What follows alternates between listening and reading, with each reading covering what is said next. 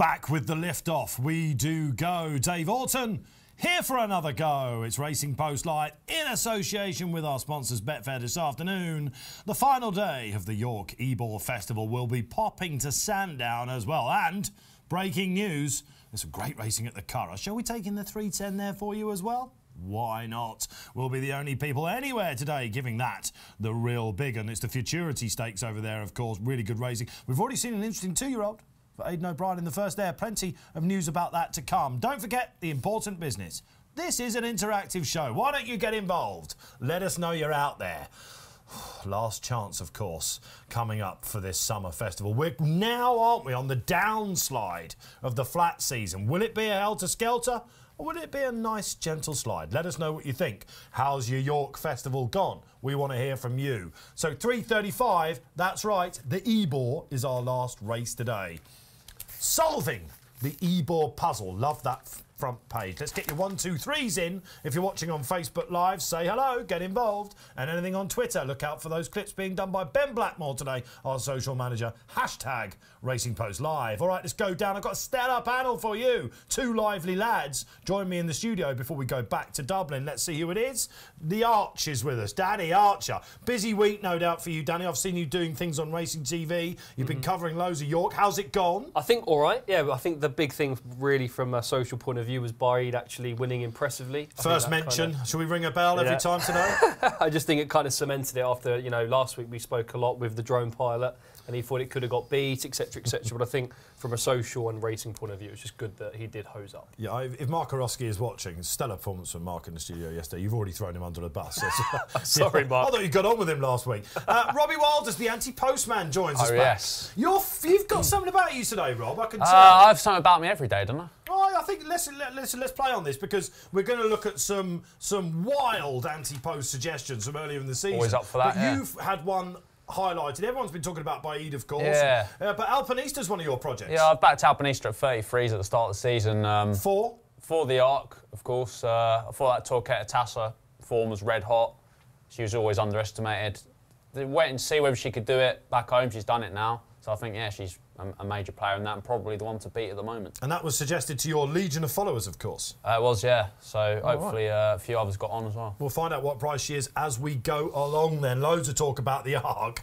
We've been talking about it all summer. Great to have the big hitter back, Barry Orr, who sits himself on a mighty ticket for the first weekend in October. Yeah.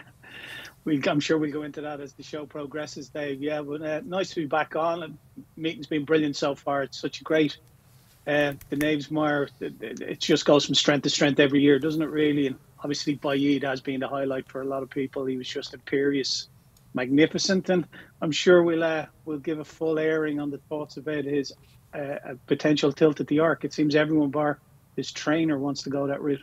Well, there has been a little changing of the goalposts already, Barry. We messaged, didn't we, straight after we said, oh, it doesn't look like he's going to go. However, we broke first thing that morning, maybe Irish Champion Stakes onto the British Champion Stakes, of course, on the 16th of October, I believe it is this year, the showpiece we have, or maybe. Maybe, just maybe, they might go to the Arc Barry now. So I don't know. What is it, five to four with a run on the sportsbook all of a sudden? Four to five now with a run. He, yeah, he'd be odds on. If he goes to Ascot, what's he going to be a four to one on chance against maybe four other horses? It's only going to be a bit of a procession. If it's if it's all about commercial the commercial operation of Shadwell now, well then he won't go to the Arc because they'll just cement his reputation with a with a nice easy win in the Champion Stakes. Um, but if it's a little bit more than that, if it's about enhancing his reputation and cementing it as a superstar, well, then he has to go to the Arc, doesn't he? Step up to a mile and a half, um, emulate what his father did. And I, would say if Sheikh Hamdan was alive, he'd go to the Arc. He'd love to have an Arc winner, but it all depends on the commercials of it, doesn't it, really? And obviously, William Haggas is kind of dampening everyone's expectations and saying after each race, oh, just enjoy it, just enjoy it. He looks a shell of a man at the moment. That every time Baaeed runs, he's just a nervous wreck. He manages it well, but he's like he's like John Oxx. John Oxx absolutely left left Longchamp after the arc, after Sea the Stars win, left Paris, and he was he was absolute shell of a man after that campaign of that horse uh, as a three year old. Uh, it just takes so much out of the trainers, you know, to protect that unbeaten uh, that unbeaten sequence. And you can see it a bit, I think, in uh, in William Haggas. Uh, fortune favours the brave. Go to Paris in October. Well, listen, let's get stuck into that then. This is the Racing Post Live say on that. The dust is settling. Thankfully, we know most of the news out there at the moment. We know the thoughts of the connection. We want to know the thoughts of you out there. We're going to have a poll as well, but we'll get to that. Now, Barry, back on Lockinge Day when Baaeed came out and strutted his stuff, we were all looking forward to it. I'd spoken to William on the eve of that, and he was saying, just want to get it out of the way now. And it's a long season ahead and it's it, it's thrilling the constitution of those. But we looked into his pedigree, of course. You suggested that 50 to 1 for the art was a bit silly. Now, we got absolute pelters for that on what's known as racing Twitter, and people saying, don't be ridiculous. We have these false gods, don't we, on Twitter? I don't want to mention like the jumpers like Honeysuckle and Envoy Allen, but if you if you badmouth these 11111 horses, you get so much stick. But he's bred to be running over a mile four. He steps up to one mile two in the week, and finally we see the seven length demolition of one of the other best horses in the world. Now, it wasn't just you, Barry, that was looking at this. Look, we've got a nostalgic social from one of our, our regulars. Nesta said after Baaeed won the Lockinge, that was, of course, in the middle of May, Arc is on the menu after that he can stay, I reckon. It didn't look likely, it didn't look likely. But Barry, hindsight's a wonderful thing. But I guess you were looking at if he won over a mile two as you might have expected, maybe not in quite such fashion this week, then it was a no brainer. His price was going to collapse. Yeah, I'm just surprised that they didn't give him an arc entry all along. Just, just to have it, and just to kind of manage expectations of people instead of um, William Haggas saying after Goodwood that no, definitely not going to the arc. I'm, I'm putting a nail in that coffin. So you know, it's probably a bit short-sighted by Sheikh Hissa's um, repre- or, um, advisors. You know, Angus Gold and William Haggas to to completely rule out the arc right from the get-go, considering like on pedigree alone, he's he's sure to get the trip, and he's been so impressive in in the Juddmonte. So, yeah, I think she's been badly advised there, but hopefully she's a, a bit of a sporting owner, um, and that she decides that really as a commercial stallion prospect, well, if he's to win the arc, he's going to look a lot better on a CV and running around Ascot at one to four and beating the same trees he's beaten all season. I couldn't believe he was five to four on the sports but before he ran in the Juddmonte for the uh, for the Champion Stakes. Whoosh, that crashes down. Who's got that out there? Right, okay. Barry's had his say. We're going to look into the nuts and bolts of it for you. There is, a, of course, a commercial stallion point of view. Do they want that one more fo- mile four in there? All of a sudden, you're talking about the National Hunt mares potentially. Shadwell, the dispersal. They, you know, they're trimming it down. They've got themselves potentially the next Sea the Stars Frankel at stud. That's going to have a big say on it, of course. But after the race, no, no, no, we're not doing it. Now, all of a sudden, other races are being mentioned. Are you on the big ticket like Netster and Barry? Are you with Robbie on Alpinista? Should he go to the Champion Stakes? We'll hear from you. We're going to get a poll up as well. Let's concentrate back on today, though. We've got plenty of time in between the races. Start getting involved, guys. Let us know you're out there. We'll give you your naps today. What wins the Ebor? One, two, three in the Ebor? Dare we go go that far? Let's solve that puzzle. The mighty Gomez comes on. 335 like this. I'm getting shirty today, Dave, he says. Of course, drawn the widest of all, the win-win-win machine, of course, is Get Shirty in the Ebor Stake 335. But Barry, before the 150, we must get some housekeeping out the way. Is the Lucky 15 finally going to get on the move? Yeah, fingers crossed for the lucky 15. Let's get cracking on that. Robbie, I believe you're the glamorous assistant today. The first leg is going to be Wild Crusade in the Keep Melrose at 225. Our second leg is Sacred in the City of York Stakes at 3 o'clock.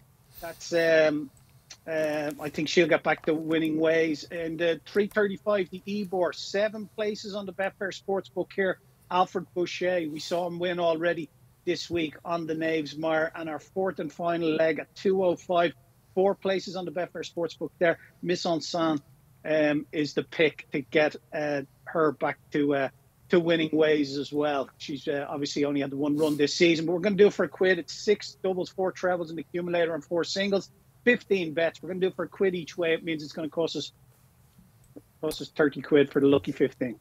Lovely, absolutely superb. So a quid each way for that. Uh, let's go down. There we go. Lucky 15. Here we go. That's what it pays, guys. Happy days. Loads of uh, loads of enhanced place terms on the Betfair Sportsbook, and our offer this Saturday and as every Saturday, um, Dave, as you know, is bet ten on multiples and receive a ten pound free bet. So if you uh, get involved in the multiples on the Betfair Sportsbook, bet ten quid on multiples and get a free ten pound bet on multiples. So uh, it's a pretty decent offer as well. So that'll help cover uh, some of our losses on the lucky 15 if we don't manage to get any winners. Great stuff. And of course, it is great for the charity. If you're new to the show, as I say every week, Barry puts up a trade in every single race. Seven races coming your way this Saturday. You don't have to play in every race, but if you wanted to, to do a little small outlay to try and get a big payday at the end of the day and basically have some interest with us along the way, that is the way to do it. And it starts off at 205 with the something forgotten about Mise en Scene. She was thought to be a classic horse, wasn't she? Barry likes it. Mm-hmm. Could she bounce back? All right. Uh, and I, I, love that pronunciation of the Ebor horse, Al- Alfred Boucher.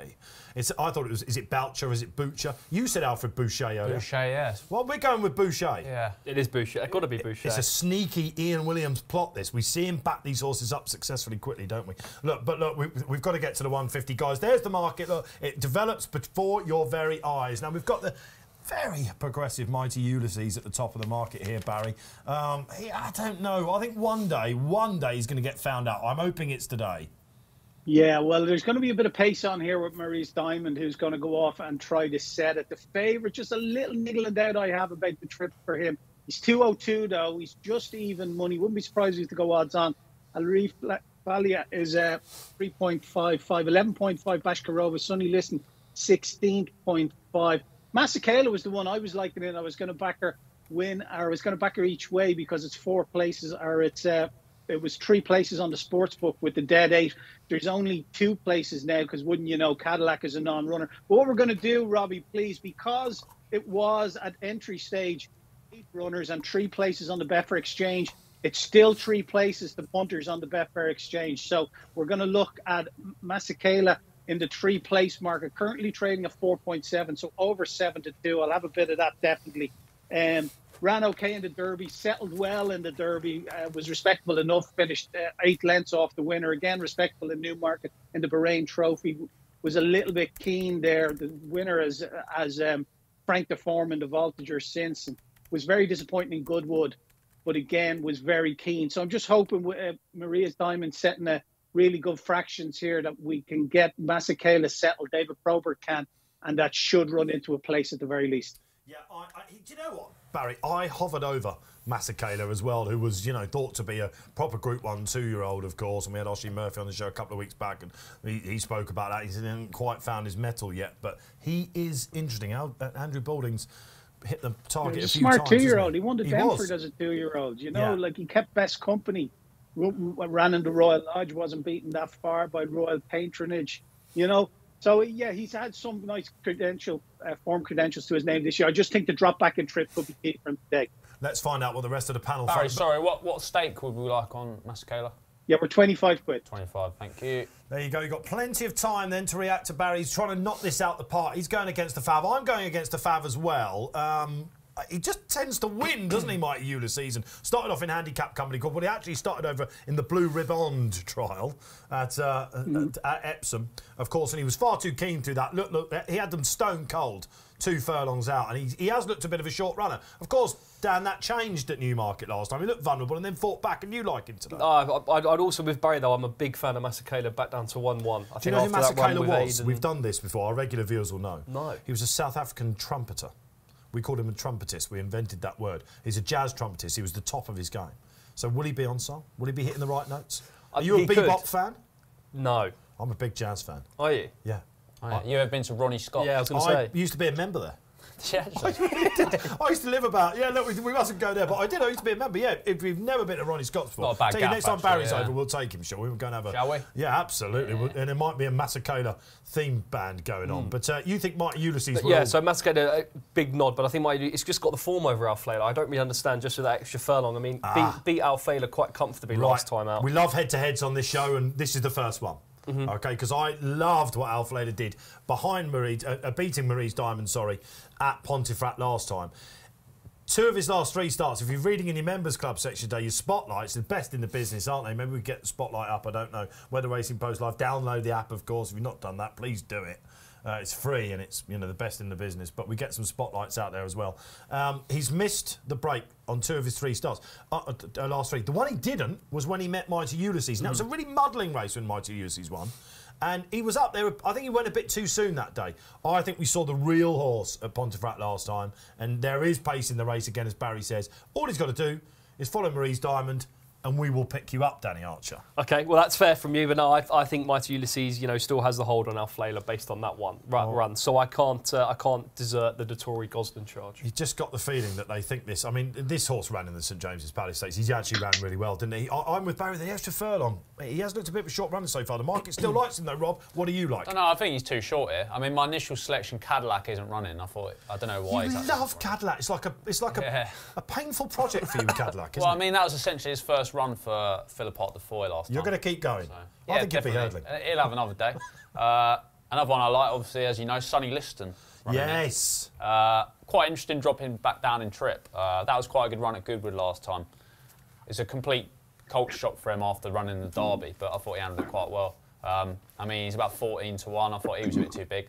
I mean, ultimately, I thought Mighty Ulysses was too short, and that was where I was looking, so I'm, I've had a place bet on Sonny Liston. Yeah, Uh, Keels has gone for that in his sizzlers, I think, isn't Has he? Yeah, believe so. Yeah, yeah, yeah. I get, I get it. I get it completely. He's having an up and down I week, think I Bash like a lot of punters. I'll tell you what, Bash Grove has been absolutely backed off the boards there. She's a filly that I really like, Bash Yeah, Garova. I mean, it's one of those where if you take out the uh, Duke of Cambridge run, then she'd be well probably about three to one. That was I could if you're on Bashkarova today, I guess guys that you're that you're looking into it. If you knew, her, I mean, we saw her come back on the show at Goodwood, and she just got touched off by Miss Fitzherbert, who runs later on in the card, Yeah. uh, and who, who also flopped on her next start. Uh, but then she went to Epsom, and she really showed everything about her that day, and she beat Oscula, who's a really uh, wasn't uh, was it Oscar? No, it was uh, Potapova. That's it. Who's a bit? Park, uh, who's a bit? Who also runs today?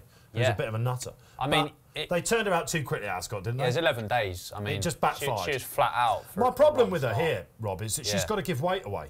Yeah, it's going to be some tricky. really I good mean, three-year-old colts. Yeah, I mean, th- they're not exactly favoured, are they, the older fillies, by the weight concession? But she's the swinger, But- is she? Yeah, I mean, well, I sort of missed the price a bit.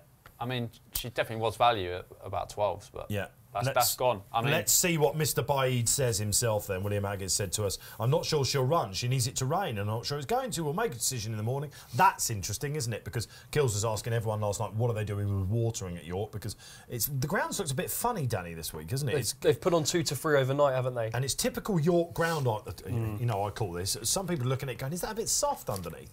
Times have been either good, they've been quick. You know, so we'll look at this first race time and hopefully we'll get a good gauge from it. Thankfully, we're not starting with a two-year-old stake, you know, event. Thankfully, we're not starting with a stay-in race. This should give us a proper time about the clock today, and they're obviously happy to let her take a chance. And also, Melworth knows there's a new fresh strip of ground for racing today. I think uh, Anthea Lee was on Racing TV earlier saying about that. So interested to see how that rides as well. You've been, you've been doing your homework. It's good to, it's good to see. We, we had high hopes for you, Danny, and you're you're just about meeting not sure. expectations. So, is there any other pace pressure for Marie's Diamond here? Before I go back to Barry for a last, it probably isn't. Is it finest sound maybe?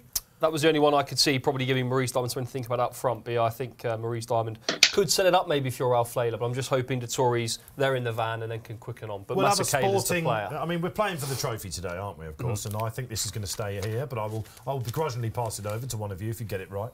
Uh, let's find out. Okay, Barry, they're going into the stalls for the first. Uh, even Money Mighty Ulysses, what is it on the exchange? Uh, at the moment, currently trading on the Betfair exchange at 2.10, so 11 to 10, 4.2.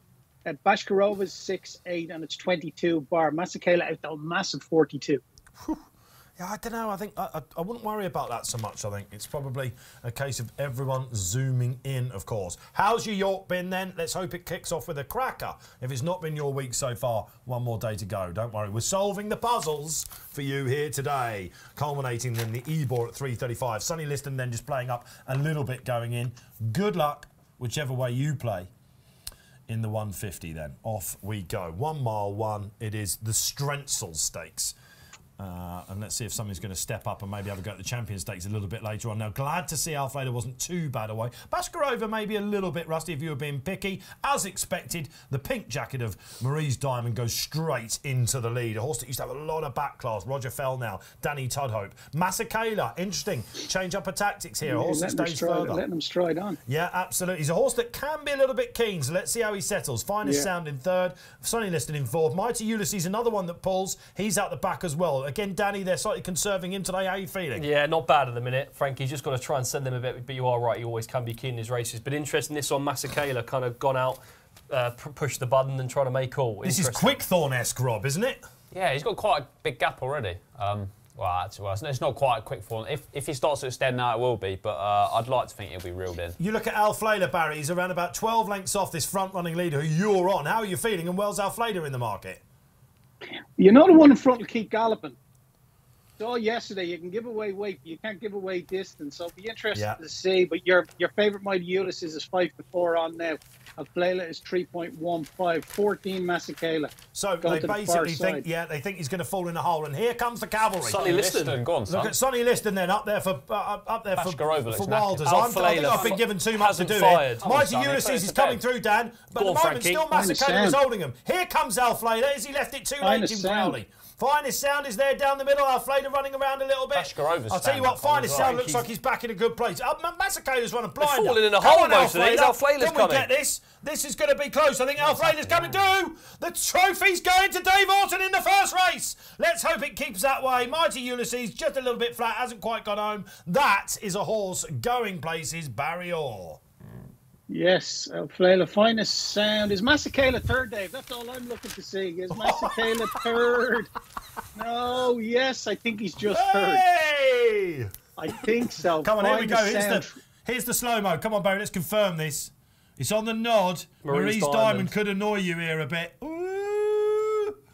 Come on. Yes! Yeah, he's got it. I think he's just got it, wow, hasn't he? Close. I wouldn't be so confident. They all fell in a hole behind the bus. It was a bizarre race. and Finest sound Alflaila- trade at low 1.54, two to one on.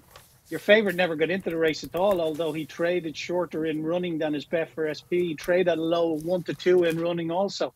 Masekela hit a low in running on the Betfair exchange of 10. That's all. But the uh, you, you two in behind the winner who traded at two to one on are lower. Your winner hit a high at 38, Dave, uh, for something small. Two quid done at 25, 20, 51 quid done at 20 on the winner in running. He's a very interesting horse, this going forward, I think. Uh, Owen Burrows is going to have a good finish to the season, Owen Burrows. He's got some very good horses. He deserves it after Hukum, of course. Uh, this chap looked, he looked like he, he was in trouble, guys. I said I think I've been given too much to do. Barry rightly called fine a sound, and the, and the exchange was screaming it. At this point, Danny, you had every chance on Mighty Ulysses, and then whoosh, Yeah, I, I think as we said, two two and a half out. Alflaila looked in real trouble, but I think you know the races. Ma- Masekela's set up a bit of a sprint to the line. They've all kind of fallen in a hole a furlong out, and he's just stayed on better than the rest. I don't think the favourites got home. A couple of them probably haven't got home, but Alflaila clearly progressing with every run. Do you know who won this last year? Real world. Give us, a, give us. A, I was Sorry. hoping to play a game there, Danny Archer. Too slick, I'm afraid, my friend. Real world. Yeah, I knew Is that. he officially the second best horse in the world? Uh, ooh. Well, I mean, I tell you what, it'll take a lot of beating in the QE2. He's going to go there, isn't he? He sh- well, he really ought to go there. Yeah. Did he go Good to Champions Day last year? I don't think think he did, did he? Is the ground a problem for him Let's have a look. that time of year? Possibly. Possibly. Very soft. Won, of course, on the 2nd of October on Arc Weekend. He won the Prix Daniel Wildenstein Of course, um, yeah. on horrible ground. He beat the Revenant, who loves horrible fine. ground. Yes, Just good horses right. go on good ground, nick a don't they? group on one, any ground. he? And he will. Uh, Is he second best horse in the world? Uh, oh, Well, he's the I don't know only horse that's even got near. well, probably uh, Desert Crown. Probably. I know I've only seen him Don't, three don't times. mention but- poor old G Rod got a load of stick, didn't he, on, on, on social media this week? Did you see that? Did? Straight afterwards, you normally all retweeted out there in racing Twitter world, didn't you? And haha, let's go and bash G Rod.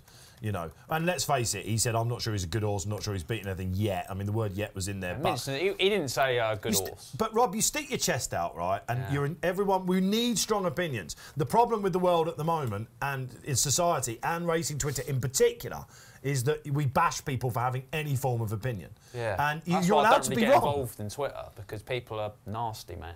Well, there we are. Absolutely, it can And- happen. And you, you don't want to be nasty to Graham Rodway because I've met him and that's a lovely fella. all right? Yeah. Well, he just laughs I'm not at just everyone. saying that 'cause that's my line manager. He was obviously right. he is your line manager. He is right. And Barry, we got a lot of stick about saying about the Baaeed thing, didn't we? But we're looking forward to Real World coming back. Is this a horse that might have pretensions to Group One company, Alflaila? I wouldn't think so. Say That was an ordinary enough race. Oh, Cold. I, I thought it was I, good. wouldn't even, I don't even think we'd quote him in any Group Ones. What would he run in? Well, I think he might Q2. potentially go to France, mightn't he? Could he go the Daniel Real World Wildenstein. route? Let's what's he in? Let's have a look. Progressive three-year-old. I mean, he's readily reversed that form with Mighty Ulysses. Mighty Ulysses looks all over a miler, doesn't he? Yeah. Can we get that out Yeah. of the way? Yeah. All right. A few of those He's not in anything to win her. No, he's not. No, he's Owen not. I Burrows, got a uh, feeling Real World wasn't at this time last year. He just came out of the Hunt Cup, missed, didn't he, and just improve him. Oh no, I like that horse a great deal, not just because I backed him, but uh, Danny I like, Archer's I here like to learn. Burrows as well. Burrows is 30% this season before that race. So He's got a very good handicapper. I'll I'll remember what the name is in a minute coming up. Of course, he's got Anmar, isn't it? That's Yeah, a very good horse. That's Barry Anmar, put out last time, one as he liked on the old bridle. Yeah. And uh, that's a horse that's come out of handicap. It's got called, a horse called Tarib. Is Oh yeah, yeah, in the in the Everyone yellow. thought that their Haggas horse last time was unlucky against. It, it- I don't think it was. I think it's. I think. It, I think it's won Yeah. very well that horse, and Mm. that could be Cambridgeshire type bound. I need another Cambridgeshire horse, by the way. Golden Voice is Oh, just. you abandoned that one. There. Haggas has had a shocker. Never mind. Is everyone trumpeting him about Baaeed? What's he done with Golden Voice? I mean. Anyway, a dream that's gone. All right, let's go to Sandown, shall we? Because the 205 is coming up, guys. Uh, really good racing today. Isn't it a little bit surprising, Barry, that one of their best two-year-old races is on this day, the Solario Stakes? 240. Yeah, it is. of is. course. Poor old clash, isn't it? Really? Yeah. Again, it's uh, race planning that I think um, hopefully will be addressed sooner rather than later. I think there's a meeting among some of the big wigs in September. But Grand Dame, your favourite 3.3 in the exchange. Fontenay is 4, 9, 4 Mise en Scene. Uh, you've Miss Fitzherbert in there 13.5. Potapova, who's been a little bit disappointing, is out to 25. Rising Star 27. And what we're going to do here, there's four places on the Betfair Sportsbook here, Robbie. So we're going to tick over to the Sportsbook. We're going to back Mise en Scene we're going to have 25 quid each way her. Um, Oh, she's currently trading at around 13 to 2. Like I said, four places on the Betfair Sportsbook. So 13 to 2, Mise en Scene. Um, the ground was a concern for her in the 1,000 guineas in Newmarket. They didn't run her; it was too lively. They went to Ireland with her instead, but the run was definitely too bad to be through. Um, she won the Prestige last year in Goodwood, Dave, if you recall, and she ran well in the Fillies Mile, went fourth to Inspiral. So she has a bit of class. I don't know what happened to her in the Curragh. Obviously, she's been held up, but they're aiming for a good autumn campaign with her. Um, this will get her back started, and hopefully she can outrun her odds.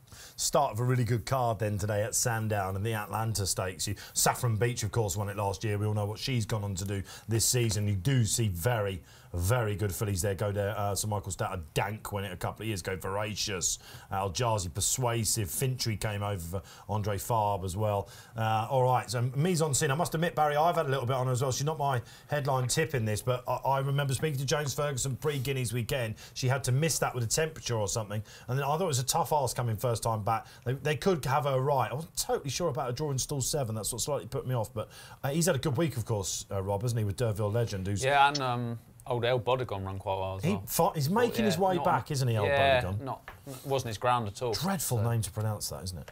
Again, it's like Alfred Boucher, isn't it? Is it Bodegon? Bodegon?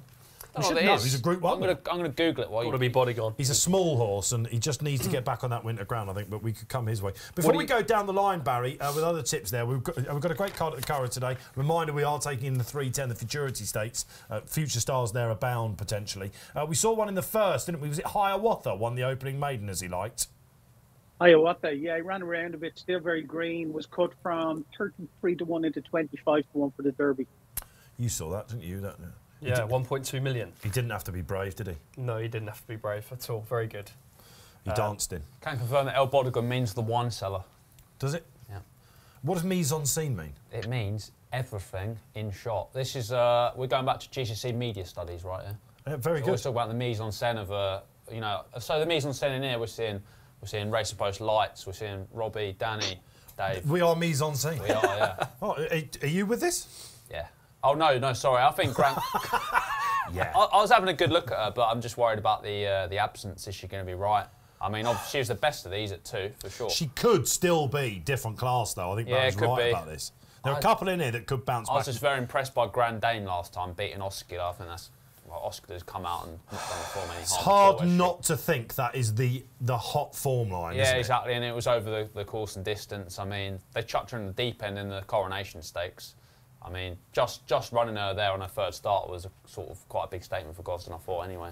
I missed So, the uh, social then, sorry guys, from uh, uh, from Hugh Masson saying about York. We will get back to that, Hugh. Yeah, I'm with you on Grand Dame. Yeah. I don't like the draw I think she could nine. be shorter. I don't. Well, Well, at least at least all the protagonists are drawn right with each other, aren't they? I was at Seven, Ascot nine. on Cigaro Day, the day she beat Mukadama. And then she got beaten by Fontaine, or I guess that's why she's pretty short in the Market Fontaine Yeah. at York.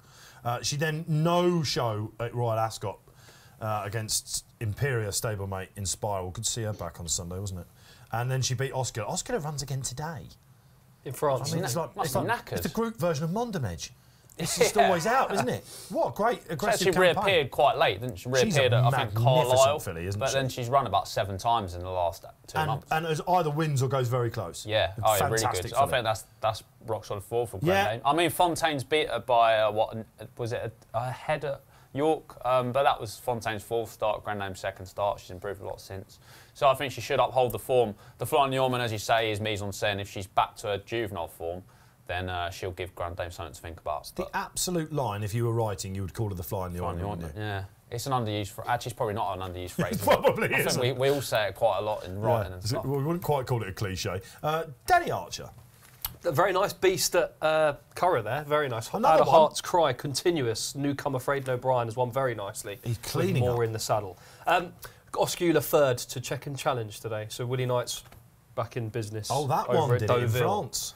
Um, so I thought the form of that was strong and interesting that you and Robbie were both on about. Was it Queen Aminatu, the who was in that race? Obviously, Frank the Form, but I'm with Fontaine after winning the Okay. Michael Seely. Um, I think ran quite well behind Nashwa in the Nassau last time and probably didn't get the trip and raced freely. But I think back down to a mile, I think Fontaine can uh, confirm the form with Grand Dame. But mise en scene is interesting, but it's more, as I think Robbie said, the layoff would be the concern. I'm humming away here. Uh, mile two, wasn't it, of course, in the Got, got to give a shout to um, at a bigger price Nazarka um, for Jane Chapple-Hyam. The, the handicapper might have got a grip now, but won so easily. She on could have had another go at handicap, you know, I think. She probably potentially could have done. Uh, they're now on that black hunt type, aren't they? Jane Chapple-Hyam, we know, can do this. Won the race last year, of course. Jason Watson, big hour coming up for Jason Watson. He's got a race in the Solario Stakes as well. The Solario Stakes won by some of the greats. Are we going to see it, of course, at 240? Let us know. Keep your selections coming in. Uh, all right, you've gone down then. Two for Grand Dame. Uh, mise en scene for Barry. Bit of everything. And Fontaine. So between us, we cover the top three in the market. That's great, isn't it? We've got the winner. We've got the We've winner. got the winner. we? We've got a Hopefully. trifecta. There are some interesting horses in here. Miss Fitz, Fitzherbert, who beat Bashkirova at Goodwood, and everyone expected her to kind of do the same when they met last time, but she she just bounced out. You know, Hughie Morrison, George Rooke on from five, she could bounce back. Bounce the Blues, I thought was interesting. If I had to have a trifecta in this race, it would be Grande, mise en scene, and I'd chuck her in. She ran a lot better than the seventh suggests at Goodwood last time. She's a horse that hasn't won yet for the Baldings, but she's finished second in half of her starts for him. And Dane O'Neill from stall one. If you wanted a bigger price, I wouldn't put you off that. She will win a race this year, got but to, I think she she? needs a bit of rain. A bit of softy. Once she gets soft ground, she'll win That a was race her at the group win in year. Ireland, wasn't it? Yeah. Just watch that back. You've got a little bit of time in the members club. It's it's a bit deceiving, and I do like a low draw at Sandown. That's the only thing that's put, putting me off from sort of nearly napping Grandone. Uh, Barry, they're going in. They all look a picture down there in Esher. What's the market saying?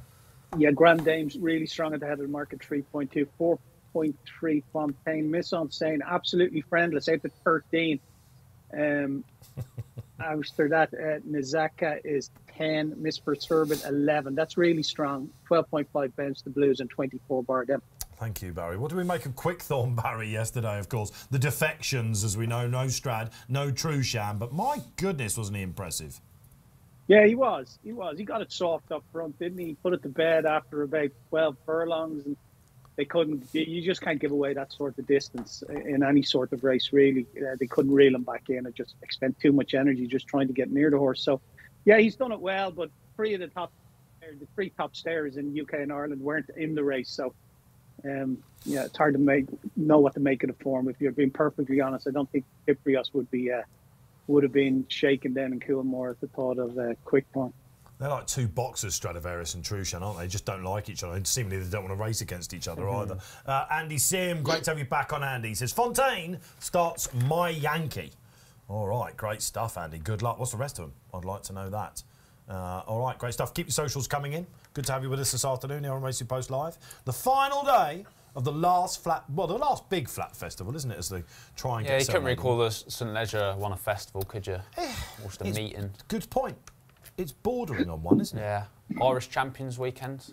It's not a festival. It's is it? two days, but I, Yeah. Doncaster, I suppose, is a festival. But the, the first day is a bit weak, isn't it? It's a bit light. First day is poor. Yeah. There's a got- Scarborough Stakes, isn't there? Yeah, in that's Legends, Legends race, isn't it? Yeah. I love it, love it, but it's um, posty riding in that they game. We should have asked him. They could chuck. He nearly won it last year. That's the sort of thing. Like, like this sort sort of race would, would go well in a, in a day like that. Derby quotes coming all over the place from the Curragh Barry. Two races down. Aidan O'Brien's laughing, isn't he? Yeah, again, he got a Derby quote there, 33 to 1 for the winner, um, and 33 to 1 for the Guineas as well. So, uh, continuous. What did we make of the two-year-old races this week? I tell you what, serenading at Sandown, by the way, if you wonder why we're filling here, serenading is taking ages to get in one of the outsiders for James Fanshawe. Uh, let's hope she Whoa. does. Oh, she don't fancy it at all, does she? No. I do like Noble Style, Dave. Chaldean won well, but I think Noble Style could be a He looked, serious he did beast. everything wrong. I mean, Royal Scotsman was a bit flat, wasn't he? Uh, look, you could knock the form a little bit, but he didn't. Uh, that was impressive yesterday, wasn't it? Yeah, it was. Yeah, and uh, I mean Marshman's run a very good race as well. Oh, I yeah. it's, it's good form. Like, Yeah, I think it is. Two very good juveniles. We see them both in uh, middle part. Do you reckon? We we we better had. Um, they've been- oh, there's always this Don't know if obsession you're with trying to stretch horses Yeah, I don't know out. if you're itching step either of them up to seven. Yeah, I don't know. But, yet. but the Dream Cup was worth such a lot of money this year. It was Yeah. proper field, I think, and Yeah, good was. to see because a lot of people hit Noble Style with a stick, didn't they? After that comeback at Newmarket, Well, if you listen to Charlie Appleby, he said, "Well, look, we were happy with it because he obviously had his problems." So it's good. To, Yeah, just that was, like good that was didn't it? very much a prep, wasn't it? I mean, Millstream ran well in uh, the yes, didn't quite get home, did it in the Aiken? Yeah, I mean, yes, yeah. Geraldine looks all right, doesn't he? I There is like an Geraldine. Appleby beast, though. He was interviewed yesterday, which he wasn't giving away, that he thinks is better than um, Noble Style. Could it be Flying Honours? Who won it? Did you Maybe. see that last night? yeah, that one very nice under Doyler. Um, Oisin Murphy's nap for us earlier in the week. It went off. It's not Oisin's fault. It, it, it, it went off twos on. I think you've probably seen a future classicals there potentially. Uh, we've got Breeders' Cup coming up, haven't we? Of course, two-year-olds could go over to uh, Longchamp as well, and then we've got the Future Champions weekend. I always say on this Saturday, God willing, we'll be with you every Saturday in 2022, and my senior producer Kieran Dale will pull me up on this because Christmas time mucks that up, doesn't it? We're actually doing a Sunday and a Monday, so I've been misleading you this whole time. I Don't know what day Christmas falls on this year. But Sunday, isn't it? uh, it is Sunday. I think it is. okay. I think it is. Yeah. Yeah, don't want to work Christmas Eve. day. ideally. There's nothing on Christmas Eve. No, it's a, it's a beautiful day in racing, nice isn't it? Christmas a nice Eve. break for us. I think all the pages are written, aren't they? We can just sit back Yeah, and enjoy always a, bit half of- day at the racing post. That's one you of- want to work. a bit of eggnog, yeah, exactly as- that. It counts as a full day, but you get half shift. Oh man, there's a whiff of jumpers in the air, isn't there? But there's still much to come on this flat. And like I said to you earlier, are you expecting a real Alton Towers dive on the Oblivion? Is it going to be a helter skelter down, or is it just going to be a nice tame out? I don't know. The, the middle of the flat season seemed to get a lot of stick, didn't it? Small fields, clashes we didn't have, but I don't know. I think Yeah. it's been a good week. It's just going to happen every year, though, isn't it? Small fields. We're so so thankful to have that Baaeed performance, aren't we?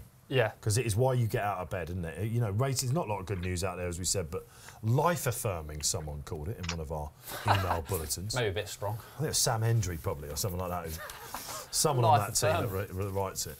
Yeah, oh, life That was a mental performance. The prize money's the thing that I think, Dave. You know, the prize money's so much better than some of these other meetings. It's like William Derby said yesterday, they invest a lot of their media rights money into their prize money. So are there a lot of tracks which just aren't doing that? Yeah, take note of York then, everyone. um, but again, as Hugh Masson says, it's just such a difficult track. Half, I know loads of people have struggled to find winners this week. This is the place to find them. Some of us are off to a flyer. We've got the second race of seven coming up for you. Sandown, Esher, another Grade 1 track. And what's the ground going to be like there? Can you get the time for me, Rob, while we're doing this at the first, please, at York, if you Yeah, don't sure. mind? That's why Rob's in. They're in then, finally. Uh, only a five minute delay. But we're all right. We've got plenty of time between races today. And good luck wherever you're playing in the Atalanta Stakes. Off we do go. Don't forget, it's a right handed turning track at Sandown. That's why they like on decent ground, which it is thought to be there today. An inside draw. Now, we're looking for the Fav. She's coming up from stall nine. Rob Havlin, I think, is going to have the luxury of tracking Fontaine and getting a decent early position. Uh, out the back, Potapova. It looked a bit of a after you, sir. No one really wanted to make it, so Andrea's just gone on and made it. And How are you feeling well, about that? You're on the front runner. Not that crazy. But you probably don't want to be Rob, do you? Someone pulling for its life uh, in in midfield. No, certainly not. I very much like where Grand Dame sat here. Mise en scene, Barry's got a beautiful position. Yeah, that's a nice pause as well. Yeah, she's a little bit fresh, but Grand Dame has the box seat there, racing uh, unfolding nicely forward. They're all travelling well themselves. It's going to turn into a sprint, isn't it? It's a long way home off that home bend as we're going around his famous home bend. We're looking at the ground. Looks again, Andrew Andrew Cooper's done a good job. I think and he's, he's, he's coming off the top a little bit, but glorious surface there. Fontaine leads them in then. Grand Dame, the favourite, is well pounced uh, right in second. Roman Mist, a horse that's probably been overlooked in the market. Miss Fitzherbert's there. Mise en Scene's getting a shake of the reins now. Uh, let's have a look at some of the Nizarka's there. What's catching your eye, Rob? Uh, Grand Dame looked like she's going to put us to bed. Absolutely tanking. What is she on the Well, exchange? they Oh, two, these two have gone gone on. Go on, Fontaine. I'll tell you what, Fontaine, Fontaine's oh, she's looking going to do her. though. I think this is just a this is a Gosden horse potentially going place. I think Rab hasn't gone Yeah, for there it we yet. The go. Fab, Mise en scene's just not finding her feet. Now, Potapova Potapova could the be the one over no? the top. Yeah, I mean, is she coming? Don't, don't tell Needs me this line, is the needs day. line. The Potapova Yeah, finally. Oh, you're good kidding. night. We have. Oh, what a horrible, horrible happened? Chances individual. are they giving her? this. How's that happened? Ew, if you're on that Potapova cliff, let's hope you haven't jumped off yet because she has returned to form. The master that is Sir Michael Stoute. She has had cloth between her ears, Barry on about five occasions this season. Not today at Sandown, it all clicked. No, it all clicked for sure. Yeah, she was a big price as well. She had a bet for SP of twenty four point six. Grand Dame traded at a low of one point one seven. The six to one on Mise en Scene the horse that I back stayed on well at the finish. Actually, uh, an autumn campaign for her. She will be worth looking uh, looking for next time out, especially with a bit of giving the ground. That was a, a promising return to action from her. But yeah, we've uh, we've fallen for Potapova a couple of times on Oh. this show, Dave. and, uh, no one was with her today, unfortunately. No, absolutely. As, as, as dance and big dances went to Ireland last time, we thought that might be the day. Went to Epsom, of course, when it caught the eye. It's, it's, a, it's always been a very promising horse. That I wonder whether Grand Dame looked a bit reluctant to be up there, as you said, after you, after you. Yeah, I don't know if there's any real excuses. I'd Fair say. enough. Yeah, I mean that, that is quite annoying, isn't it? It is annoying. 1.17. Oh, That is a Counting, burnt. counting the cash, but uh, nah, that's one for the one for the bookies. I mean, Havlin thought he had I mean, it. really, he? I mean, she's gone off at 24 points for one of that ability. We've, we've Can't really knock the form, can you? missed one a bit there, haven't we? I think look, Potapova's just done. I mean, Swagson's got a good record in this race, but I think you'd have to be. uh, Look, who was with it? Was anyone out there? I mean, she's run four times and second uh, on the all-weather, eye-catching at Epsom, then terrible back on the all-weather, and then terrible in Ireland as well. But yeah, I call him a master there's the for good ability's always there, but just form's been way too patchy lately. Can't mark, can't argue with that form though, can you? You know, if you look at it just strictly on paper, Grand Dame, Fontaine, and Miss Fitzherbert in, in that order, you know, she's she motored. It'd be interesting to see the sectionals at the end of the day about that. Oh, you wanted very the time there. for York, didn't you? Yes, what is it? Yeah, one minute 48 for the first, 48 seconds fast. F- A point, sorry, point four eight. 48 seconds. Hang on a minute. Point, point four eight standard. Someone's on the PlayStation. Um, okay, so what are we looking at? In your humble opinion of the ground there, according to the first race Ooh. times? I'm no, ti I'm no Pretty quick, that, Barry. Fast, yeah. Yeah. All right, so fair enough. Well, they put. They only put three mil on last night, didn't Yeah, they? that's- She that'd evaporate in no time. I guess you're right. I guess you're right. Having been at a course when I've seen exactly what sort of two to three mil is, it just looks like so much water they're putting on. But anyway, look, that's Sandown dump. We've had one from York. We're cooking here with gas. I'm even watching Killarney at the moment. It's like Willie Mullins is going to win the first there. Good day for punters. Are you enjoying it? Let us know you are out there. How's your week gone? What are you expecting from the day to come? 3.35, our last race of the day is the Ebor. We're keeping an eye on the Curragh. We're keeping an eye on France, Deauville, of course. Uh, we've got the Prix Morny there tomorrow, haven't we? Persian Force going. Indeed. What's going on? Lanfranco in the saddle now. James What? Dawes injured. What's going on with that? We've got 10 minutes till the next at York. What's going on with uh, uh, uh, the Rossa Ryan? Crazy, really. Uh, yeah, I don't really understand. I Were you on the desk Kia- yesterday when that was coming in, that news? No, no, I saw my phone last night. I mean, what's what's what's really the thought process there? I It's suggested about a month available. ago he was in my top three jockeys. Oh, yeah, you did, didn't you? Yeah. They're saying they haven't got rid of him. He's only on like There's a an temporary internal, investigation. investigation. I mean, that can mean anything. Investigation. Do do you reckon you might have done something? Well, they said that they suspended him from riding this week. It was all a bit of a mess, isn't it? Really? He was going to ride. He was supposed to go to Sandown yesterday or He's somewhere today, on though, in Friday, Ireland. and then he was going to go to York. He went to York instead. And Rossa came out and said, I thank them for everything. They took my career to the next level. And then Kia came out, Kia Joorabchian, of course, the, the football agent to the Stars, Tevez, all that lot. He came out and he basically said, I don't know what he's on about. I'm disappointed. So that one will rage on. But we are talking about one of the future stars of the saddle. He's going to be, you know, when, uh, uh, when unfortunately the old guard retire, he is the future, that bloke. He's that good. Uh, it will- You get that, don't you? Where they say we'll use the best available. I mean, he might and just, he might Frankie just now keep using rides. Frankie's in, yeah. Could this be a thing? Uh, well, oh, was Could Frank, this be a fallout retained? of Frankie and Gosden at York? Uh, uh, Ascot, sorry. Could this? except- Listen, know, I thought you- someone's going to snap up, Frank, and it'd be just the sort of style for Ammo. To have Frankie's look riding Torquator Tasso, very elegant. Ah, now you've and got a theory Persian here. Force. What's that I about? don't, is he the big? You know, he's now this. Bit, I, I don't really understand it. He's got all three rides. I think Torquator Tasso runs soon. Very elegant tomorrow as well.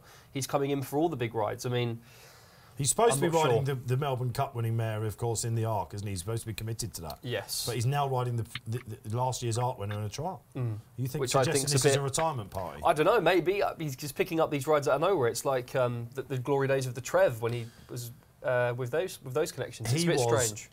mustard on a horse called Fantastic, Fantastic yesterday at uh, at Newbury, Mm-hmm. a half brother to Cracksman, who is a, a brute of a horse and a, a big old baby. And Frankie was his absolute best getting that one over the line yesterday. So look, let us know what you think about that. What's going on? Some strange things aren't there. Uh, just before we go on, I'd like to give you a chance to get involved with the Members Club. If you're not a Members Club member, try and beat the new season rush. I guess that's what it says here on my script. That must be the jumps coming up. The new season rush. I'm not sure, but whatever it is, when you want to subscribe to the Members Club, yeah, I'm going to say it for a very limited time, 4.99 only. Uh, and believe it or not, we throw a Racing Post notebook chucked into that. How can you refuse? But you've got up until August the 26th to do that, guys. And if you're not on it, I keep saying these sales. Uh, there is a link, I think, uh, uh, you can get it as well. There you go, it's coming up. Uh, it says the link in the description there as well. you can find it out there, of course. 4.99 up until the 26th of August, which I think is next Friday, isn't it? Yes. Yes. Yes. I'm one of these annoying people that ask questions half knowing the answers. I'm not. I don't kn- always know the answer. I'm relying on you. Need that reinforcement from someone. I do. else. Absolutely, the assurance. But there you go, it's out there. All right, okay, back to York we go. It's the Melrose Barrier. It certainly is. So come your favourite at 4.8. 5.4 Wild Crusade. Al Nafir is 7.4. 13 bar at the moment. Nur- Nusret, um, Mikey Sheehy in the plate is an interesting one for Joseph O'Brien coming over from Ireland. But I like the top weight Wild Crusade. Uh, he was gelded after his second Al Karim in York. Um, he beat Warren Point, a horse that I backed in a good handicap in Goodwood that won. He beat him in a three runner affair in Ascot. Now, he hung a little left under pressure that day, but he ran out a very, very easy winner. This is only be a seventh race. He's very unexposed. Now, the mark of 102 doesn't look too lenient, but you'd be really hoping that this guy's going to go on to bigger and better things at Wild Crusade. Now, having said that, there's some, there's sure to be some really well handicapped horses in here. But what we're going to do, please, we're just going to play him on the exchange. He's currently 5.4. We're going to set our own odds here. Looking at back from a 5.6. That'll go over into the lay section. We want to have 25 quid in them, Robbie. It'll go over into one of the pink boxes for someone to come in and lay us that bet. We can reassess it. When you're setting your own odds on the Betfair Exchange, you can constantly reassess, go back, have a look at the market, see what you think. And if we, if we don't get matched at 5.6, we can reassess and, uh, and maybe get matched at 5.5 or 5.4. Wild Crusade for the boys in blue and William Buick then. Uh, yeah, when in doubt, not a bad way to play it. And it is, it's, it's interesting, Barry, isn't it? You've got that form line about horses you backed and stuff. This probably potentially is Yeah. one that's just going to step up later on, isn't it? Yeah, you'd think so. And I really, really rate that Warren Point that won the handicap in Goodwood that finished uh, behind him that day in Ascot. I, I really do like that horse. So, um, and they're not as scared to geld these horses early doors and keep them on the go, which is interesting. You know, he's only a three-year-old. Obviously, they said right, uh, give him the clip and and we'll we'll have a good uh, a good campaign. He's going to be a cup horses in in, se- in uh, you know next season and the season after probably. Horses like Yibir, of course, who are the, uh, Yeah. of course, and Kemari, who's, who hasn't really got on with it, but he won the Queen's Vase. It does seem to be a bit of a thing at the moment. Deauville Legend, of course, who won uh, the Great Voltigeur in the week. He can't run in the Leger because he's a gelding, so off we go to the Melbourne Cup. Uh, on the first weekend of November. Charlie Appleby, uh, to give you a little bit of backup on, on Barry's selection, he's had three runners in the Melrose.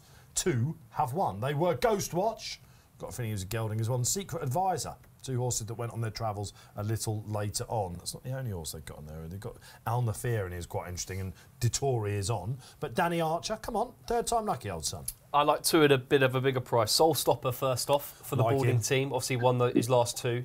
Uh, Coltrane and uh, the other horse that won it last year, I think, uh, Valley Forge. He's on a hat trick in the race. So he's on a hat trick on the race. Really impressed last time out when stepped up to this trip. Stayed on really strongly. Okay, got to go again here off a higher mark, but I like Kim. And the tricky one I do find is this KS Chorister because they were going to come here straight away uh, instead of going to Goodwood, but they took that in. Okay, Benoit de la Sayette was taking five off, so interesting to see how she gets on. But I can't not have a little bit on her as well. But She looks all over a stayer, doesn't she? Yeah, They were che- there's such good cherry picking from the Menuisier stable with this one. They went to, I mean, look, it was on 12s on at times, wasn't it? But it won in just cakewalks, wasn't it? And um, oh, she's been great since she she got off the market Yarmouth. Off, of, I think it was off a market 53. Here she is on 92. Solcombe goes down to the start for a, a trainer that's won this twice in the last 10 years as well. William Haggas, he's uh, still the fav, isn't he? Of course, big eye catcher at, at Glorious Goodwood last time, but he will not want to be messing around at the start like he did last time. Rob, what do you like? Uh, a couple of big prices, Dave. Um, Inverness, first of all, thought he, that was a really good run behind Secret State at Goodwood last time. Uh, denied a bit of a clear run, a couple of furlongs out as well. I think he's going to be better over this uh, two furlongs extra. He's got a bit of one mile six form already at Yeah. Ascot behind Bagdoor, Source, me and Rodders like quite Good a lot. horse, that. Yeah, exactly. And uh, I'm also interested in Nusrit coming over for O'Brien. Golden Horn, I think there's a bit more to come as he gets another couple of furlongs. And uh, yeah, I just I sort of like his profile. I think it's the sort of race to play at a price, to be honest. This is an Alfred It's Boucher. wide open, to be honest. Is it honest. Is it Nusray? Uh, Nusret. I think it's nu- they say uh, Nusret has been the pronunciation in Ireland. I Are you think. putting what I mean. yourself There's a forward to call the Melrose here, Danny Archer? That's it. if I He's need done. to. It's- Nusret was a very bizarre horse because, you know, for a social media man, he was always went off short prices and he was an easy one you're ready to clip up. And for some reason, he just could not get over the line. Oh, this is one that you had to delete. us and well, he shouldn't of- have won. I mean, the last time he beat, I think, over the Rainbow, who was really short price, Aidan O'Brien, and he actually was really impressive. Yeah, I mean, So he's a really tricky one impressive. To, he's a tricky one to, to gauge, Nusret, because he should have won two or three times Well, that was only his second start at a mile four, Nusret. Nusray, however you're going to put it. And the time before that, he stepped up to Nusray and he got beaten a nose only. So, yeah, he's just one of these backward ones, isn't he? But he could be. I like him here. I've got him on top. Nusray is Turkish, okay? Ah. Nusray means the help of God. Well, we, we, And also, we uh, do remember, that, remember the fella who made a splash online a few years ago called Salt Bae? Going like Yeah. that. That's his first name. Oh, base Salt Bae. Really? Nusray. Is it? That is Nusray top knowledge. Gotcha. Is it? Is it? Is this it? Is why spicy Google is stuff? such a good tool. Nusray looks a good each way bet. That's what you get here on Racing Post Live. uh, Nusray for Andy Sim. Paul Kealy's gone for this as well. Barry gave it a mention too. Racing Demons 464. I'm looking this way, by the way, guys, because they moved the monitor around it, mainly to help me. You saw last weekend it was a mess. Uh, Temporize, he's interesting. Each way 33 to 1, each way for moi, says Racing Demons. Goodbye winner for SDS. Yeah. Oh, this is his final weekend. We'll get to that, uh, Dan. George Murray, winning connections, get a purple jumper for the 225 at York. Haha. Purple jumper.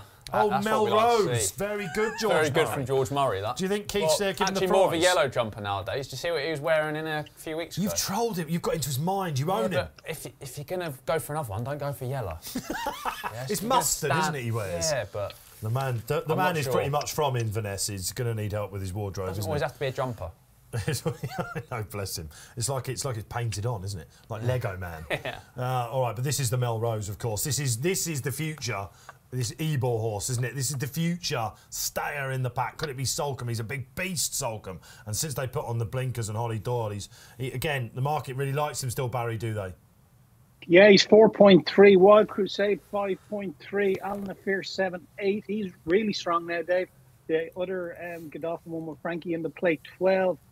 Um, Savvy Knights 25, 17. Soul Stopper 12. Nusray. It's, Oh, he's an interesting one. The, He the, is. The Joseph O'Brien horse. Um, he's been beat at uh, 50 to 1 on. He's also been beat at 20 to 1 on in running, and he's been beat at twos on in running in three out of his last five starts. So he was only hands and heels when he won in the Curragh. If, if, it, if it gets into a buckle with him, he could trade very short there, but he mightn't come home in front if he has to give him some of the cush. He broke a lot of multi hearts, didn't he, when he won at the Curragh last time? Everyone was all on that over the rainbow to try and get the treble over the line. And you knew, including yours truly, and you knew a furlong out that this guy was just, like, what's this? I mean, I, you imagine they might have at one point in his career thought, okay, we'll go and be a nice hurdler with him, of course, being in these colours. But he does look like. He might have a decent flat campaign ahead of him. He's in stall five. I like that with Mikey Sheehy on. Uh, look, there's some really interesting horses in here. Inverness, who Robbie mentioned, of course, beat uh, Solcombe last time. So why is there such a disparity in the market? In fact, if you watch back that Inverness run, you've got time as there. There's still a little while off going in the stalls here. He, he found some trouble in running, didn't he, Inverness? Yeah, he did. Yeah, that, that's part of why I liked him. Um, It's Goodwood. He's got a really nice profile for this. So I'm interested. He's a son of Highland Reel. Highland Reel's not really taken off as a stallion. One of my favourite horses. Yeah, I loved. I loved him. Uh, as a, he was so tough, wasn't he? Well, I was there when he won the King George, and it was just it was so good to get his, his day in the sun. You mentioned SDS off to Hong Kong. He goes. He's sticking around for a couple of things this week, isn't he? Floaters we thought it was, but ten prize again, big price here. Yeah, definitely for the Johnstons. You know, they're a proven stayer. Uh, I suppose you've got to argue with the third last time out. Got to build on that on that handicap debut, but maybe at a price. I think another one on its uh, handicap debut is for the Varians. I know for Shaker Bade as well. See how that gets on. So Yeah. interesting race. Some unexposed, some horses we know a bit more about, but a decent Melrose. I think Where's Andrea Atzeni today? Is he? Is he? he was back? running Fontaine at Sandown. He went to Sandown instead of coming here for two rides.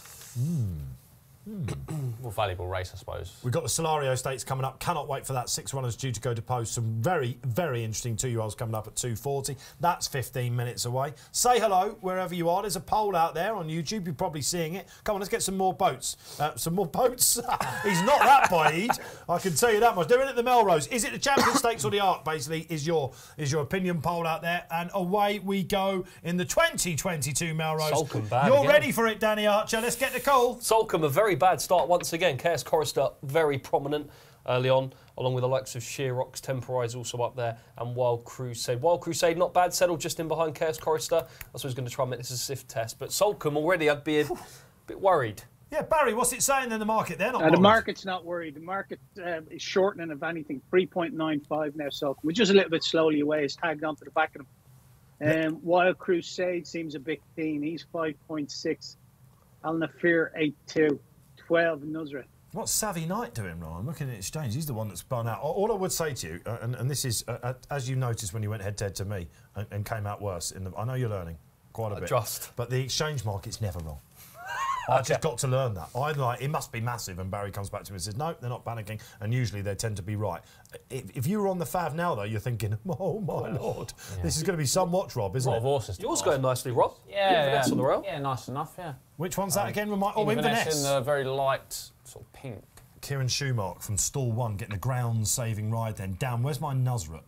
Uh, he's towards the back as well. This is a, you know, I'm interested to see. Oh, Pat's had a long look round. Patsy Cosgrave. Interesting on the uh, on Case on the Chorister. sectionals. Yeah, this is a very progressive horse, Cass Carista. Well, she just One of win, win, win, 59. win, win, One of win, win. 53, wasn't it? 50, Yeah, I 53. think it was. Yeah. I think Soul Stopper just ahead of. She of. Rocks uh, is catching my eye a little bit, guys. Frankie's got a got a bit of a swinger at the moment. Where's Soul Stopper, Daniel? Soul Stopper on the rail just ahead of Savvy Knight with Nuzrit next to it. He In looked a grinder to me, Soul Stopper, last time. He's the, he's this definite stayer in the pack, isn't yeah, he? Juvent, the only one really being pushed along, I think. Wild Crusade's got a lovely picture of Barry as well. Go Turning in. in front, the one in front, isn't he? We're not. Go well, on, this go is on the what she chorister. did. This is what she did at Epsom when she won at 12s on. But we're talking about races that were. I mean, look, she's taking them all out They're of their comfort panicking zone. a little bit, some of them. What price Solcombe now, Barry? Salcombe 4.2. Despite the fact he's got 15 lengths to make up. 3.3 now, Salcombe. Wow. All right, Case Chorister. Is she going to fall in the hole, Danny? Nuzrit's moving Fine, all right. Come on, Salcombe the is the one, I suppose, I'll Holly tell you if you're on the on. Fav, I can see why it's moving got. nicely. Look at how short it's gone now, the Americ's, Fav. Running a screamer. Nuzrit. Here Come comes on, Nuzrit no, well. no, Nuzrit's going to get done, I think, Rob. by Nah, Sol- come on. Oh, I think what's she doing, Ollie? She's looking for a run. Here this comes thing's Sol- absolute. oh, look my at word. this. This is Hamish. She's gone basically from left to right. She's cut across the pack for She's a run. used most of the names, Maya, to get She's there. She's absolutely hosed up this. I think this was the. Salcombe I think this was the going expert. like, Case high tip in Chorister has racing ran a screamer, still staying on. Case Chorister's got them all out of the comfort zone. This is different level, my though. word. Oh, Haggas, you filthy, filthy animal. You've absolutely got this in the right race, haven't you? And it's absolutely hosed up. We are talking about a get couple second here. then. We'll go to Barry in a sec. They've eased down. No, now, cool. Danny, I said to you, didn't I, halfway through the run, they're never wrong, these exchange. No, I mean, punters. that's obscene performance. If ever we needed an advert of that, Barry or Solcombe was it. Yeah, Danny was a layer as soon as they left the stall. Yeah, I was, Barry. what a mug. Don't let him wind you up, Danny. the exchange players knew.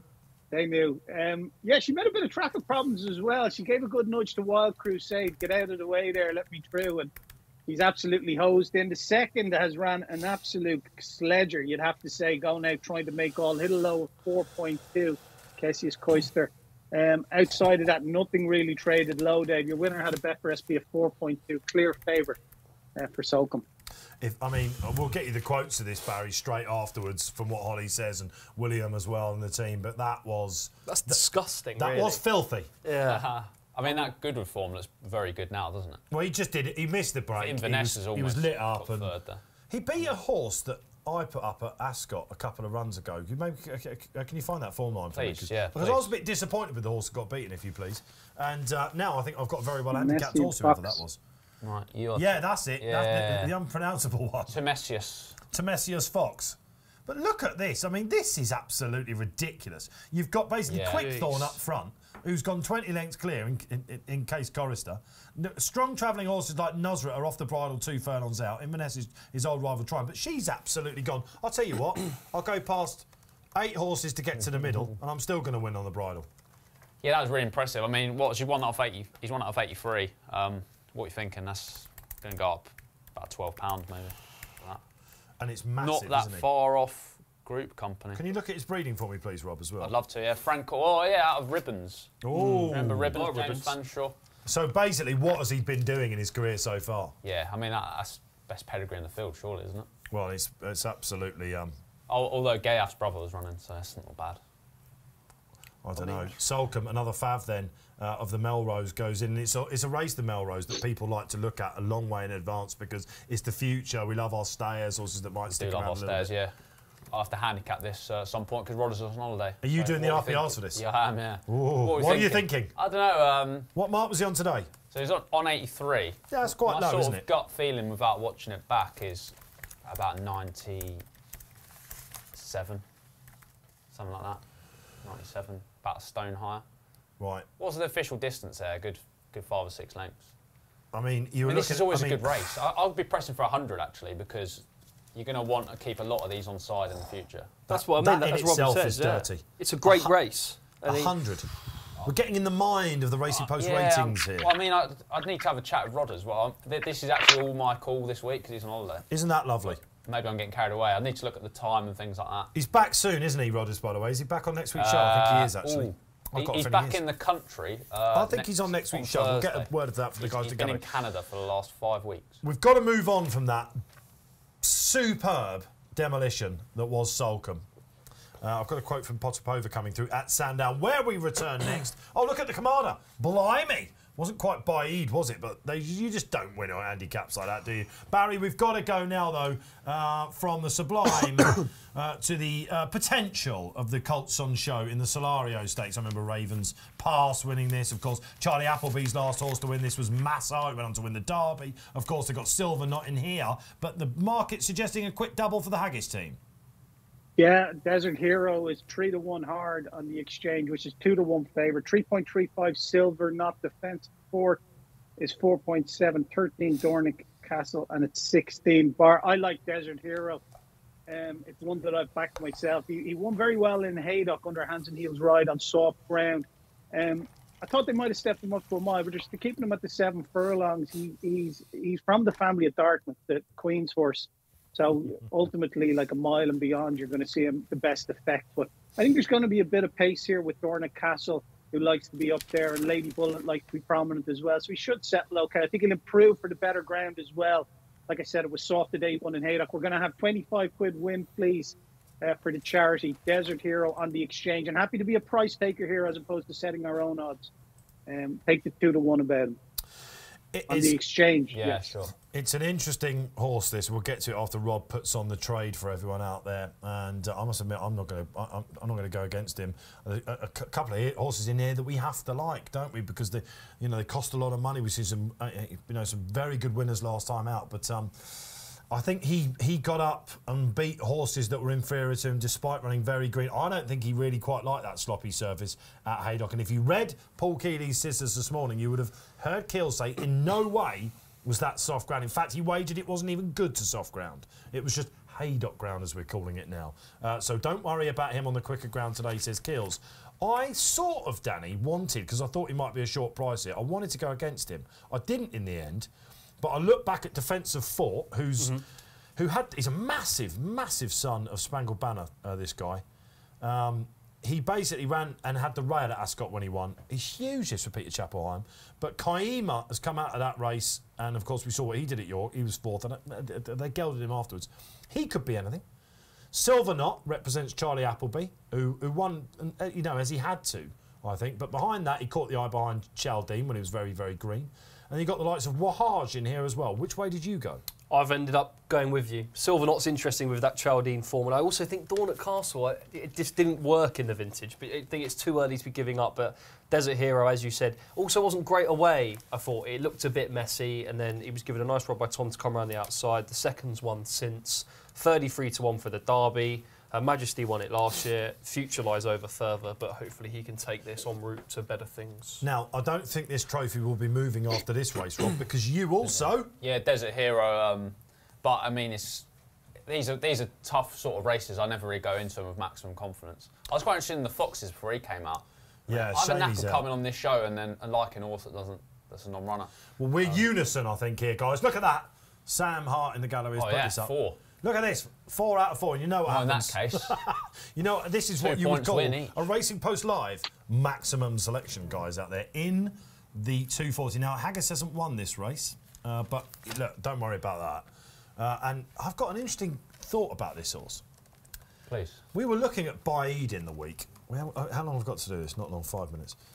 We were looking at How long Baaeed is in the week, take? and we were talking about why they might not want to go to the Arc for how he's been campaigned because he was unraced at two. Yeah. Right.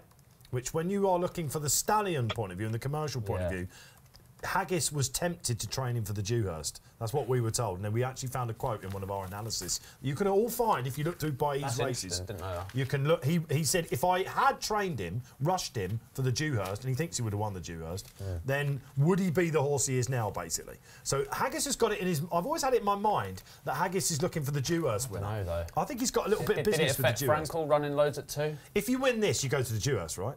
This is, I mean, Yeah. this is the Yeah. kind of race you should be uh, running in afterwards. Reached for the moon, went to the uh, the Doncaster Champagne Stakes from memory, got turned Yeah. over there. Um, Too Darn Hot, of course, won this. Masar won this. South Seas won this. He was a good horse. Kingman won this. And a horse called Fantastic Moon for Jeremy Noseda, going way back to 2012.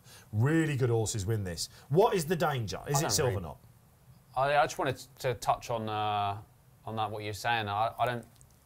Would that really have affected how he? Well, apparently he had a slight hold up. That's why we didn't see it too. But they, they the, the decision was made not to try and get him into a novice and then go for the duo. That's how well they thought of him. That's what we were Yeah, kind I of alluded to. to, to runner. out. We was unraced at two. This is what we're talking Yeah. about whether Yeah, he goes no, to the arc or not. Yeah. And that poll is out there, guys, and I believe it's starting to sizzle. Do you go champion stakes with Baaeed, which was suggested straight after by um, Hisser, of course, and William Haggas and the team at Shalbo, Angus Gold, and all the Hills crew, etc. Or do you go to the Arc? And one of the things that people haven't said to William, I think, I saw that interview with Chappers on ITV afterwards, and he was sort of having a bit of a pop at Chappers. They'd done it on the racing debate on Sky as well, and it, there's been a little bit of jousting. But Chappers is only asking the questions that everyone wants to hear. But what we didn't say to him, William, the reason why we think you ought to go to the Arc is because you'll win. You know, you'll just win. What's against he him in the Arc? yeah. Still 15 of 15?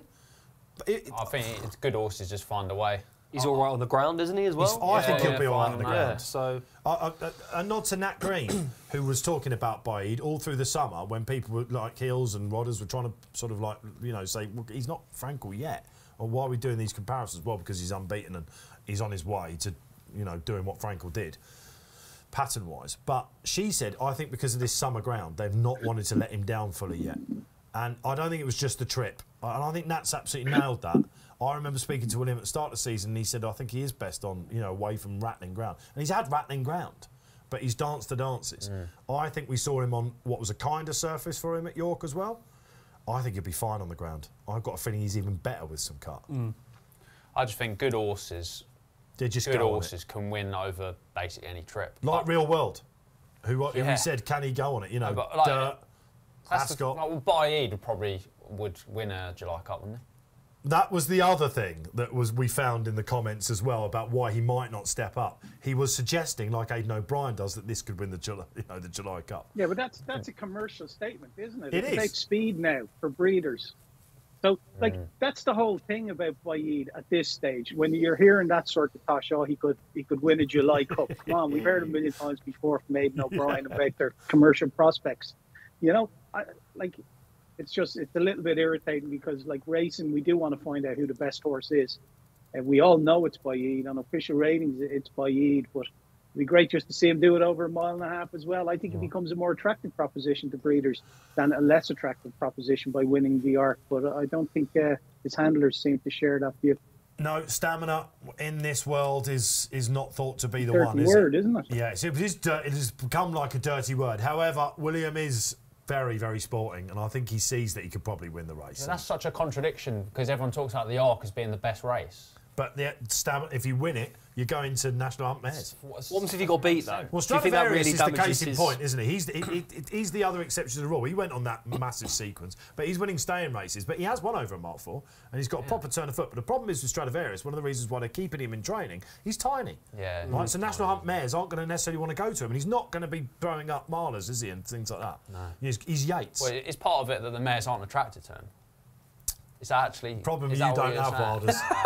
when you look like one of the Bee Gees, you're going to be fine, aren't you? But- is that actually a thing? Like, like, like, could- We had this Barry coming in, he sort of strutted in, and I went, "Oh, you had a bit of BG about you there, Rob." And it turns out you do look a bit like Barry Gibb. I'm googling that now. You can, you can. What, what Very different than about theoretically if he got beat in the arc? Doppelganger. Yeah, absolutely. He's a doppel. Such a terrible um, shout, mate. Go and Google it, I everyone. prefer out the there. Rylan shout when someone The said Ry- that on it. R- a cross between Rylan and Barry Gibb. My lord. Terrible. You need to put your hair back you more up for Rylan, Yeah, though, surely. wouldn't do that. That exposes the hairline. Oh, we're having some fun today on the show. It feels like a good show today. Is everyone enjoying it out there? The numbers are really, really good. The racing is as strong as it gets on a Saturday in August. Let's get some more socials out. All of us are going for Desert Hero. Who is Stephen Loftus going for? That was a very average maiden that Desert Hero won. The third, the second or third got turned over last night, didn't it? At Newcastle, I think, Stephen. Um, but I think, you watch it back again, Stephen. I think he won despite he looked, I don't know, it would be interesting to see what he hit in that maiden on the exchange because around about two furlongs to the one, he must have been quite a big price. This is just, I just think. Get a high of eight in running. Did he? There you go. And we know that Haggas's horses, first time out, they're not going to be fully revved up. Some of his, okay, you're going to now say Baaeed and all that sort of thing, but I don't know. He said, didn't he, William, in the week, the trick is now to find the next one. I'm not suggesting that this is it, but I think this will be going to the race he wants to win. Really, really wants to win. And that's the Dewhurst. If you're with Silver Knot, good luck. He looks an absolute picture going in, as they are. Uh, Danny, you going to call this one as well? Enjoyed that in the last race? Can if you need, Did yeah. quite well, mate. It's a tough skill. I mean, Yeah, exactly. It really is sharpening odd. his I've- I've skills tried it a couple of times. Defensive very forward. Does anyone skill. like this? Graham Wadbo's put this up, of course, from Canada. Uh, I'm yeah. more pleased that Chapple-Hyam's got a, you know, hopefully an interesting Everyone horse says again. that when Peter's got a good Um, horse. Everyone says that, and he's in everything as well. This defensive forward, he's massive, by the way. I wondered whether, uh, if you look at the pedigree of a lot of these, they are stayers in the making. So you know, definitely a mile plus for most of these, bar him. So if there's not much pace on, defensive fort might be the way to go. Let's go to Danny Archer then for the call. Dornoch Castle surely got to be prominent under Richard Kingscote. Oh look, Jesus has gone for Silver Knot as well. Sorry, I should have said Does, that. does look to be Wahaj also prominent. In behind at the minute, Lady Bullet and wide on the outside, Desert Hero. Tom just looking Hmm. to get across at the minute, but Dornoch Castle making most of the running. Also keen, Lady Bullet, and that is defensive 40. He's a big lad, isn't he, on the They're a outside? good clip, aren't they? They are. They are. Waj, who's unbeaten for Patrick Owens, put him in the bag big time. Of course, it's Kieran Fallon. Desert on, isn't Hero's lit up badly. Yeah, but I, I don't know. That's all right. He's right. He's running right behind the front two. He's I lit up. he's I don't like right. that too much. lit Lit up. up? Yeah. He has got a bit keen in Hang behind. calling To- out your Tom's. Tom's trying to hold him in. It's Kieran. Tom's up Um, at, uh, Sorry, Kieran, yeah. at York, isn't But he? Dawn of at? Castle, this is what could happen if he can get loose off the front and try and Silver attack. Knot's gone back. Well, uh, uh, Barry, we're three furlongs out. Six to four, three to one desert, and it's a five point eight Wahaj. Oh, this could get a bit messy. for Kieran's Kieran got to get out, now. hasn't he? Quickens, does he? Well, I don't know. I think Silver Knot is the danger, I think. But he's got him. the gap now. Now, defensive fort. Watch him run around as he did this at Ascot. Look at Silver Knot. He's on the bridle here, this chap. Well, he found Harjad in front. too good at his debut. Is he going to get the gap, Rob? He's there, yeah, we need He's to got the gap, but the the Godolphin, Godolphin horse horse is is- I don't know. Yeah, he has. Yeah, he's gone one on one yet. Yeah, he's gone. I don't know. We, ah, Impressive. you- this was quite impressive. I'll Off tell you what, how goes. good has Waj run? Absolute stormer. Waj has run in second. just a little bit slow. Fair play, Stephen Loftus out there. Uh, you called his limitations. He just looks like he wants a mile already, that horse. And, and Mickey Mouse race. Wow, just run a beauty there. Good He's confirmed himself a smart one, hasn't he? But Silver compliment Knot Barry, uh, once again, they knew some way out. Yeah, Betfair SP at 3.49. Desert Hero went off favourite at a Betfair SP of 3.3. Wahaj traded at a low in running of 2.75. Your winner, Silver Knot, didn't really trade uh, at a, at, in running high. Uh, other than that, of what he traded pre-race, he traded at a high of 4.15 pre-race. Didn't trade bigger than that in running in the race at all. So, yeah, he looks a nice horse. The winner. He travelled really well. He picked up nicely. Step up and trip already for Desert Hero, but that's what his um, that's what his bloodline would uh, suggest.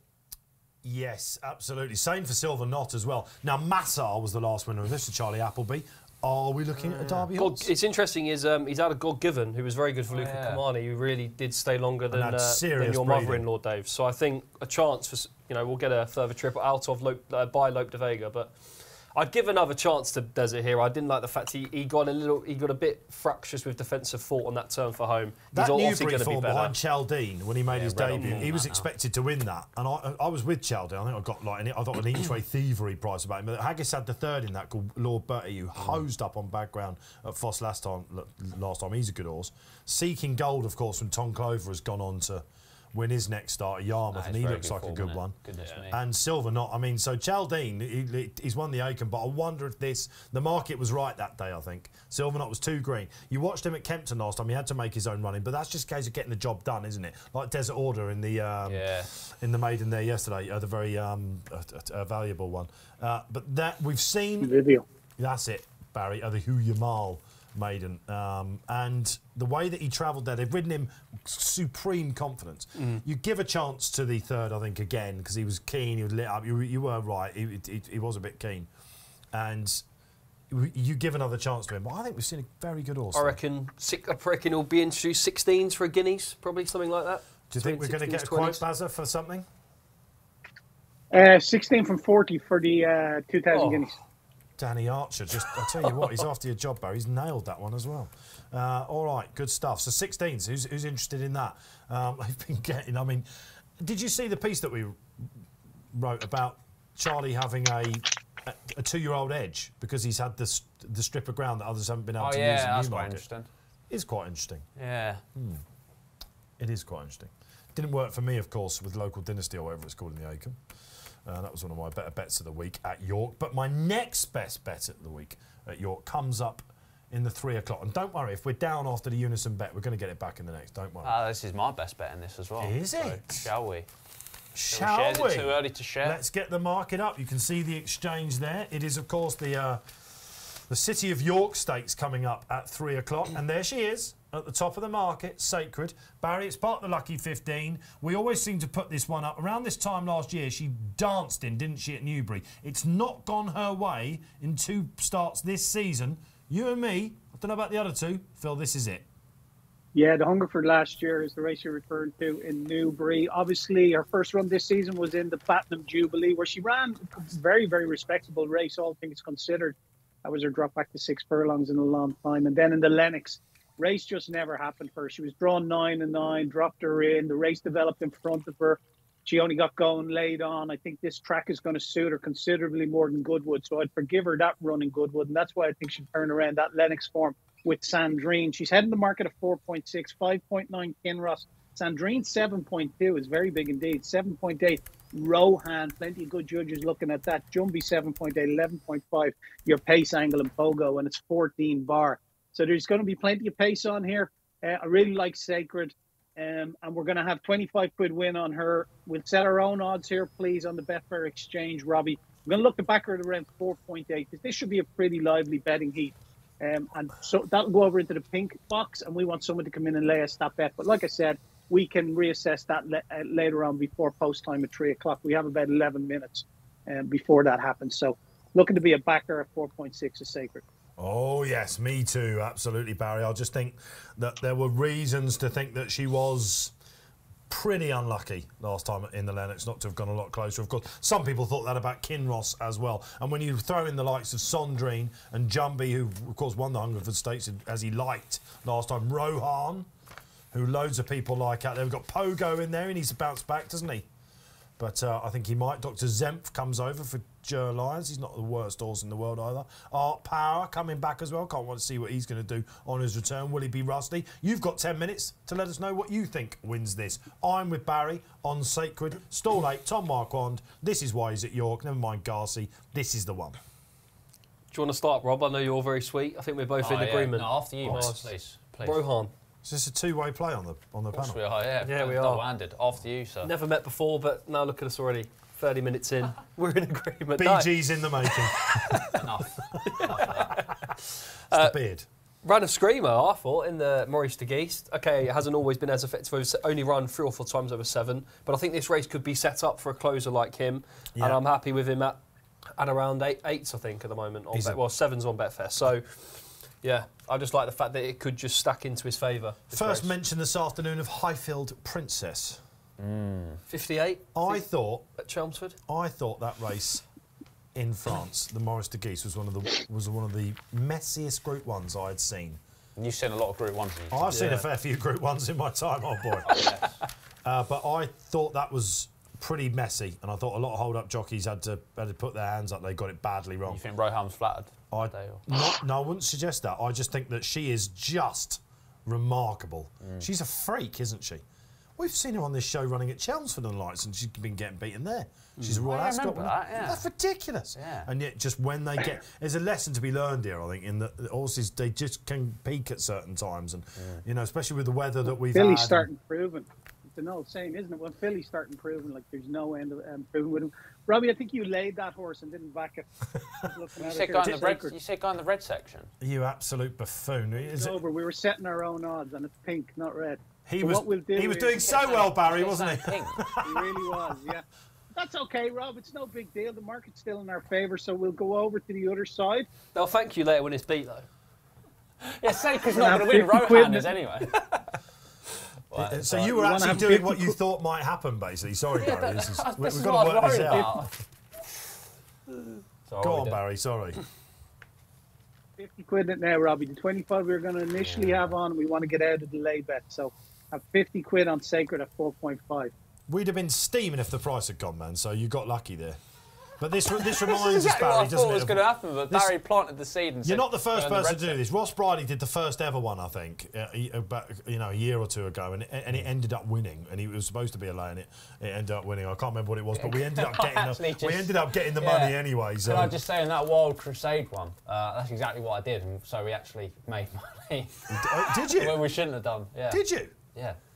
I tell you what, Rob. Listen, you were doing so well on this show.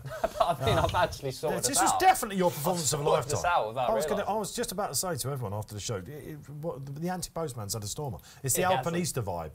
That's what it is. You're getting the Nah, not as one-one-one the about it. Anyway, look, all right, the trade's on. It's a it's a head-to-head here. Myself and Barry. No, I'd rather be with, and it's a Wilders and an Archer. Yeah, So- Rohaan. Rohaan. So Yeah, I- I okay, let's hear the horse- Rohaan case. This horse is uh, all his best form is on six furlongs at stiff tracks, or the, in the Maurice de Gheest, six and a half furlongs. I've, I think he's been looking for that seven for a while. He's not had that since way before he started improving. So he has run over seven, but that's a long time. To be fair, he did run over seven in Saudi Arabia, but it didn't quite go to plan. I can forgive any also bad run in Saudi Arabia. Yeah. But uh, just the way he shapes, such a strong finisher. I think this can be run to suit. And uh, I think we- you're looking at a Group One horse here.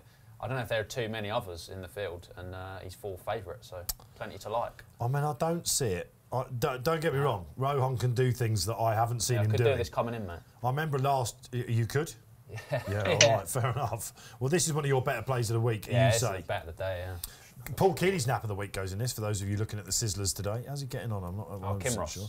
Kinross? Yeah, he's wor- worried about lack of rain, though, he was saying yesterday. Ah, I tried to say that at the start of the week. He, he, he, he, he had a, a told me so moment in the week. I, I put up a nap at the start of the week. I said, Sacred next best. I think local dynasty will win the Acomb though. Mm. Messi raced the Acomb, but it was a it was a silly tip. But he went, I told you so, and I went, oh. oh. Other professionals should not do that to each other. Yeah, a bit rude. I think I sent back, I hate York or something like that for a bit of a joke. But I tried to tell him that Kinross won't have his ground. I think he's best on soft ground. Yeah, the record suggests it. His actual but best RPR was on uh, just good ground. if you don't rate Sacred and you don't rate Sandrine, and you think, well, Jumby's, you know just come up from handicap, it's a quick turnabout. Rohaan, not sure about. You can see where the question Kinross each way him. bet comes from, right? The The biggest class. The, the biggest question mark is Al Suhail. I mean, if he puts it together, but he's you just can't trust him. He was he's been impressive over the trip before, but he was you know so poor in Meydan. It was too bad Well, to it's one true. of these horrible coming back from Meydans. We just don't know, do we? Unless you're associated with him or been watching him, you know, you've got no idea. I'd They like to see some back. stats how happy horses get on after they've run in Meydan first time back. Uh, also, Hmm. I think Art Power is obviously uh, one we should talk about. He's well, interesting, isn't he? You know, this horse is placed in four or five Group Ones, Yeah. six furlongs. Yeah, I like him. I Let's get some socials I up mean, there. He's nice. It's the first run back though. Again, Barry and myself, I'm trying to back the young young guns away. Uh, Pogo to bounce back. I did say that, Racing Demon. Thank you very much. You must be hopping mad not to have seen that one. Uh, Andy Sims says I've had a little bet each way on Art Power. So you're, he's, he's interesting, isn't he, Andy? Just- It's just this tough race against some hardened performers that you feel might be sitting on a, a peak run of the season. And uh, Benny Whitcamp, great name, Benny, says Al Hale, thinking that. Have, you just covered yourself a little bit? No, I. I understand it. I can understand why people think he could, but I'm the same. You know, oh, that Meydan fight was so poor. I've just got to because Rebel's Romance was one, wasn't it? It ran really poor in Meydan, but then won twice. Mm. So it's a tricky one to gauge back on domestic shores. But a watching brief for some of those like Art Power and Arsahale. A watching brief indeed. Loads of people watching out there this afternoon, enjoying the show. Myself, Dave Orton, Danny Archer, Robbie Wilders, and a big hitter himself from Dublin, uh, Barry Orr. We're going to get you over again soon, Bazza, at any time? Yeah, I've no media plans, Dave. We'll, we'll get a look at the diary for the next couple of months and, and put something together, all right, but nothing that springs to mind. Probably depends who's on the panel, I guess. I would imagine. No, Um, not at all. not at all. come on, we've all got our favourites, Barry. It's fine. well, listen, you look. Uh, I do like G Rod, I must admit. Yeah, he's a good lad. I, I like everyone in there. Actually, they all bring their own various different talents to the table. So uh, that wouldn't be a consideration at all Okay. if he was on the panel. Yes, I was having a bit of a joke, Barry. You took that quite, you know, you tried to Good. I wouldn't like to himself. offend anyone, Dave. Oh, that wouldn't be. No, no, no. Absolutely, quite right. Absolutely not. You, listen, if, if, if anyone wants to know my favourites, you can you can message in, of course. The poll, I'd I'm love to. being told, is closed. It's a two-way play here. What do we think was going to be the? Look at that. A hundred votes came in. Uh, Baaeed, Arc, or Champion Stakes. Barry, they're with you. Unsurprisingly, 63% say it must be Longchamp. That's good to hear. Wisdom of the crowd, Dave. Do you think he's going to go? No. No. What do we actually think? Uh, The people have chose entertainment. I'd agree with that, but I don't think he will as well. I put my vote in. I don't know, was I allowed to vote? I did vote in that, and I vote for the Arc. It's not like we're inside traders or anything like that. Of course, you're allowed to vote for it. I just, I was just trying to peruse the The comments. amount of people that stick, keep coming up to me that don't know a great deal about racing. Are you allowed to bet? I'm Yeah, unfortunately I get I that all the time. I, I'm actually advised to bet. So, well, I mean, we are, aren't we? Yeah. So, yeah. Okay. It's a all right. betting show. But, uh, yeah, Arc, for me. Arc all the way. I think Look, you win it, I because we think think you'll win. That's the thing. Yeah. Yeah, and if it's going to be your last race, I mean, even Galileo went to the Breeders' Cup. Not many people talk about that, and that was a horror show. Bit- you know, we're talking about one of the great size, great size of all time. Would it matter to you if he got beat? No, I think that's No. you know, it does to them though. I think, and I think the But it does to them thing. because then you're ending a, a sequence of one one ones. yeah, and and, uh, And no matter what they say. Barry, They've retired to stood undefeated. Yeah, no matter what they say, Dave, it means a lot Yeah. to them. And the Frankel thing, it finally came out of Williams' vocabulary this week. He said like it was the and it was the biggest winning margin since Frank. And Whatever you think of Mishriff, that was near the Mishriff at peak. We gave him one two eight when he won the race last year, beating Alenquer, also Mishriff ran a Haggas's. cracker, yeah. One two five. Sabuska is the one that the analysis department were. I mean, he's the thread from the analysis department trying to. It was a. There were still two tribes afterwards. Yeah, You well, know, you we we gave got him a- Dubai Honour who's placed in the champion stakes. What race of post racing did we give Baaeed? One three eight. One three eight. that's- Sound. Say I it think again. eight. Off one three eight. Oh, just say. what did one three eight? What Oh. did Frankel get after One his four three. Yeah, I mean that's just off. see The, the stars? Uh, one three nine. yeah, so they, they're they're the joint highest best second best horses But, to yeah, run. Sea the Stars did lose a race as well. Yeah, So that's there. Which But of course everyone I think forgets one three about. eight is perfectly fair for that. Yeah. I thought he was always going to improve. Do you think a Sabuska is a 120 horse then? Uh, eh, one one eighteen more. Because well, it He's does make a difference. He's a teens, isn't it? Yeah, it does. Yeah. I don't want to alarm we you, can, when we're handicapping, we can also give pluses as well. you actually do these RPLs, so you should be Yeah, exactly. So I can tell you, we give pluses. Barry, Well, let's come to you. Uh, we've been talking about the Great Biders. We're going to keep doing. We've got a bit of time after this, of course. We're going to pop to the Curragh, but we've got loads of time to build up the Ebor. This is an interesting market now, Barry. Uh, she looks a bit weak to me. Uh, there's, there's a queue for Sandrine I can see as well. Sandrine is 6.4. Yeah, there's some support from that. It was 8.2 a little while ago, 6.8 Kinross. But she's still steady, Dave. She's 7 to 2. She hasn't um, hasn't deviated much off that. She's 4.5, 4.4 now, actually. She's gone below 7 to 2. Rohan 9.4, 9.6 now. He's a little bit of a negative. Jumby 9.2 has been steady at that. Pogo 11.5 and it's 15 bar. Art Power is one that's come in for a little bit of support with Dave Allan in the plate. That's being matched at a high of 30 around that mark. Um, for small enough money now, but Yeah, uh, that is 28 for 36 quid around that, and it's into 9.4 now. Continues to gather support. Art Power off the back of a long break. Oh, that's interesting, isn't it? Mm, he has got. He's, again, it's a, it's a longer very trip, isn't it? But as a five-year-old, he might need it. The Easterby's are going all right. Okay, they're in. Good luck. If you're on Art Power, I guess you're thinking that some might be over the top a bit. Let's find out. Away they break. Art Power's Whoa. absolutely flown the grey. Dr. Dr. Zempf walked out. up. Ger Lyons is duck eggs. I'll tell you what, Pogo doing what he does best, absolutely flying out. No, I'm in a, no, no excuses here, Barry. Yeah, Sacred tracking him. There's going to be no excuses here at all, Dave. Yeah, she's tracking the right horse as well. She's tracking the pace. This is magnificent if you are on Sacred so far. Jumby's taken a keen hold out the back. Rohan for the boys on the panel is there as well. Uh, Al Sahel has settled quite well despite the hood. Pogo been taken on, would you believe it, by Art Power. Kinross is right there as well, guys. Danny? Mm, Rohan's got some running to do. Hopefully, needs a gap, but yeah, Sacred is travelling sweetly. Kinross, Al Sahel seems to have settled okay. Art Power's going relentless. This Dave. is He's not going to get home. Art Power won't get home, will he? Surely I not. This is surely non-thought speed. This is a strange old What race. price are we going, Barry? We've got to be start going low now. She's the last off the bridle. Kinross Now, is with her. But her. it's Sandrine is the one they want now. in Sandries running. is closing. We need the gap between horses, you get the feeling. Frankie's looking confident. Oh, Keels will be screaming at the telly wherever he is. Ah, come on, Sacred, you can fill your lungs. I tell you what, Art Power's running an absolute belter here. He's not giving up whatsoever. Pogo, the pace is holding up. well. Kinross, don't you dare! I tell you what, Sacred's blown out. She hasn't quite got home here. Kinross is going to do it. Kills is going to be insufferable. His nap of the week, given to you earlier, has gone in on the stand side. Frankie Dettori rowing away, nice and ready. What a race Pogo's run. He's bounced back. Sandrine just hit the flat spot. She's back. She's in third. And Art Power, surely the horse to take from the race. Barry, we're deflated. Yeah, very much so, Dave. It's a very, very disappointing performance from her. Everything went her way. No excuses there. Back to the drawing boards with her. Kinross though with Frankie. A bet for SP of 7.2. Uh, Art Power trade at a low, only a low of 4.5 in running. Uh, Pogo traded at a low of 2.16 in running, so just nearly 11 to 10. Sandrine hit a low of 3.25 in running. But uh, yeah, the winner's done it nice and very comfortably, you'd have to say, to finish up the stands rep. Yeah, fair play. If you weighed in with the Sizzler himself, then he was confident. And uh, despite the fact we didn't have what we thought was his optimal surface, the race was beautifully run to suit, wasn't it? And you actually watch it back, he's smooth all the way. Yeah, he's picked up really nice, and he does deserve one of those. He's been running well in defeat this year. Frankie kept it pretty simple on the rail this side, but but I think the, the eye catcher's got to be Art Power if he avoids the dreaded bounce going forward. I mean, that's a you know astonishing run really. As Barry was saying, would he get home? I mean, he, he stayed on quite well to. I think he was second in the end. He's Sacred flat, Rohan flat, Jumby flat. She is a bit flat, and uh, you can. I wonder whether they. It's difficult. and, I've seen a couple of people on the chat quite rightly saying, "Give up, Devo," and the lot. This is it.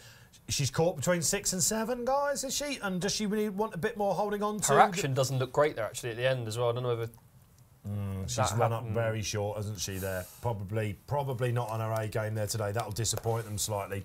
Uh, when you've got to like go off like that, Rob, you want to sort of sit third or fourth, don't you? So there's no excuses there for. Kinross did. Impressed with that performance, Forêt. Pretty good performance, yeah. Be better on a with a bit of cut on the ground. Forêt, yeah, be one of the one of the horses to beat there for sure. He, yeah.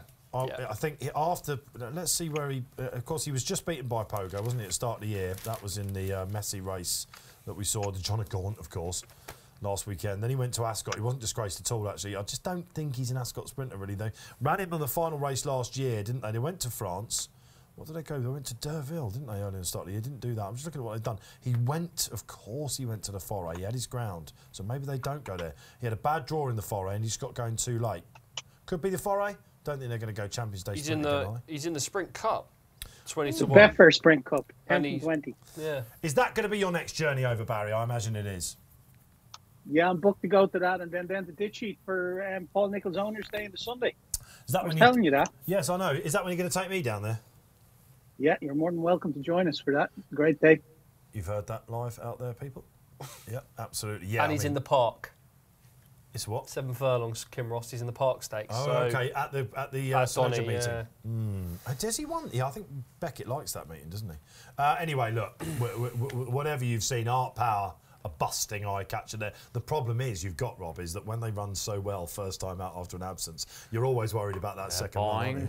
Boing. Yeah. but you're basically No, pogo. it's some run, but they've definitely stayed seven furlongs. I think. All right, okay. What are we that. doing next? Uh, we've got to be quick because we're going down for the uh, Futurity Stakes. Now, this is a bit of a curveball, this. We decided this would be the best race for you. I'm proud and Regal Barry. Uh, this is a very interesting race, isn't it? This has been won seven times in the last decade by the O'Brien stable, of course. He's got Hans Andersen here. I'm surprised that Ryan's not riding this. He's riding on the once raced, once won Aesop's Fable. They don't tend to win this race on paper. And Proud and Regal, whose form's stacking up beautifully, but yet uh, he's, he's, not, he's a bit bigger than I thought he would be. Yeah, Tyros winner, Proud uh, and Regal, and did it well from the front. He got everything his own way, though, in Leopardstown. He's 2.48. Aesop's Fable, whose form of the race he won is doesn't amount to a hill of beans. It's one of the worst maidens I'd say you'll see in the career this year. 4.0. Hans Andersen, who beat a nice horse that subsequently went in for Joseph O'Brien called Al Reef. I put that one in the notebook. They think an awful lot of that down and down below. And it's 22 bar. I did want to lay Aesop Fable, but it was a two to one chance when I was looking to lay it earlier. Um, out to three to one now. So just going to back off this race, Dave. To be perfectly honest with you, it was a bit of a late curveball. If, if Aesop's Fable shortens up, um, yeah, I'd look to lay it, but not just yet. All right, okay. So listen, we can do this, of course. Safe gambling out there as well, MO at the race post and at Betfair as well. And you can stay out. And Barry does this. He puts up a lay at the start of the day. We see his selections. If it goes out to a silly price, very good horse potential. He's got Ryan Moore on it. Why is he not riding Hans Andersen? Could the clue be there? He I don't be, know. I think, yeah, On I mean- sub, on, look, on paper, Rob, it, it, uh, Aesop's Fable's the wrong horse. And then Ryan Yeah. jumps on it, and you're thinking, hang on, they're inside my mind. I don't know about this pedigree though for seven furlongs. No, nay, never out of a five furlong sprint. Well, I saw a horse sure. won at Carlisle yesterday for Mark Johnston. Was it called Loyal Touch? I think Barry put it up at, at, at Glorious Goodwood. It's a beast of a horse, and it just looks like a stayer. They're big horses for two-year-olds, I think, and they do outstay their pedigree slightly. That is true. Yeah, no, know, no, never had well timestamp uh, last night as well. He was massive, wasn't he? On, Yeah. No, no, no, never. I, I would rather Hans Andersen for sure as Yeah. a son of Frankel. Uh, that maiden form looks pretty good. Almost won on his debut. They don't always want their their Colts and fillies to win on their debuts, do they? So they can improve. They do and they tend can to keep that. him. So they don't like to chuck them straight into a group race after after their debut quite a lot. Yeah. Um, so yeah, I, I thought he was he was too big. I mean, he would be favourite, I'm sure, if uh, Ryan Moore was riding. So. Well, yeah, absolutely. And actually, it looks like the market is now coming for him, Barry. Does it, Hans Andersen? Yeah, Hans Andersen, yeah, it looks like he's the right one of the uh, O'Brien now into 11 to 4. Aesop's Fable 8 to 4 to 1 now. So uh, your favourite's still strong, though. Proud and Regal at 2.38. Uh, you'd have to think that the Coolmore partners have a very strong hand in this race. Yes. It's 22 barred at three of them Yeah. ahead of the market. Well, they, as I said, they've won seven of the last um, ten. They have had 22 runners in that time, just the three places as well. And of course, Donnacha has Proud and Regal, who won the Tyros, which used to be the sort of sexy, you know, the very, very top two-year-olds. Uh, t- uh, back in the day uh, when I was getting into racing, used to win that for O'Brien. Uh, Churchill's won this in the past 10 years, Guineas, Derby.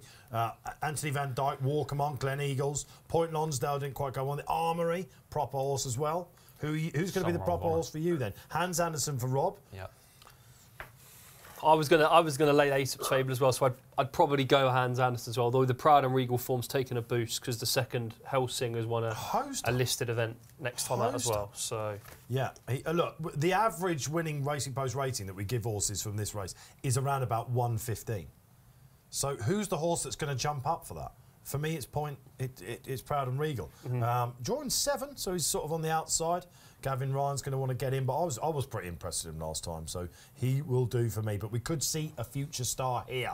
There's the market there. Fingers on the buzzers, I guess. Barry's not playing in this race, but will you give us the quote straight afterwards for whatever comes out on top? I guess we're going to be talking about maybe Be- Beresford, Vertem Futurity after this for this race, Barry. Is it? Maybe even the Dewhurst. Yeah, Dewhurst, Dewhurst potentially. Yeah, yeah. Like we wouldn't have any of those, the, the Beresford or the uh, Futurity up on site yet. But um, yeah, this is when the two-year-olds start sort, sorting themselves out now. These next couple of weeks.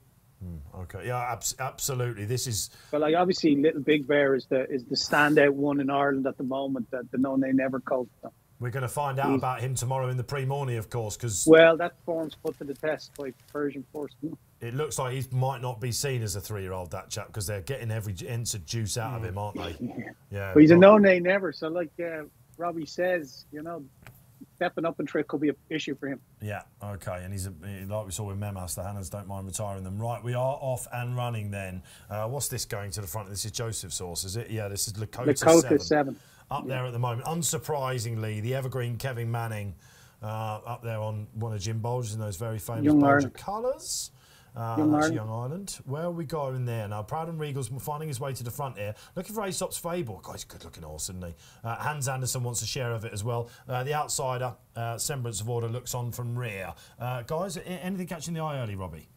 Uh, I like the way Hans is going at, at this stage. Um, I like the way Aesop's Fable's going. They've, yeah. they've, yeah, he has settled well under Ryan Moore. Proud and Regal just about going ahead now. So, so- interesting to see how this works out. Yeah, muddling sort of pace. All right, here we go then. We're attacking. What's the market saying? Let's have a little look down. Aesop's Fable. Yeah, I'm not surprised he's gone short. He's really It's fable the is shortened up, isn't he? Yeah, Hans Andersen maybe just going to start filling the pace here. Now, the favourite's got the rail here. We'll find out what Aesop's Fable is made oh, of. Hans, Yeah, Apache fast. Outlaw has got some pretty good Go form as well. No, this is the first Home you go, Right, Hans. Anderson then. Could this be the tail? It looks like the way. It's swishing a little bit. On he goes. Proud of Go on, Regal's run up Hans. short. Well, Aesop's Fable's well. coming. Here, are we going to find a oh. no. gubbing? Barry thinks so.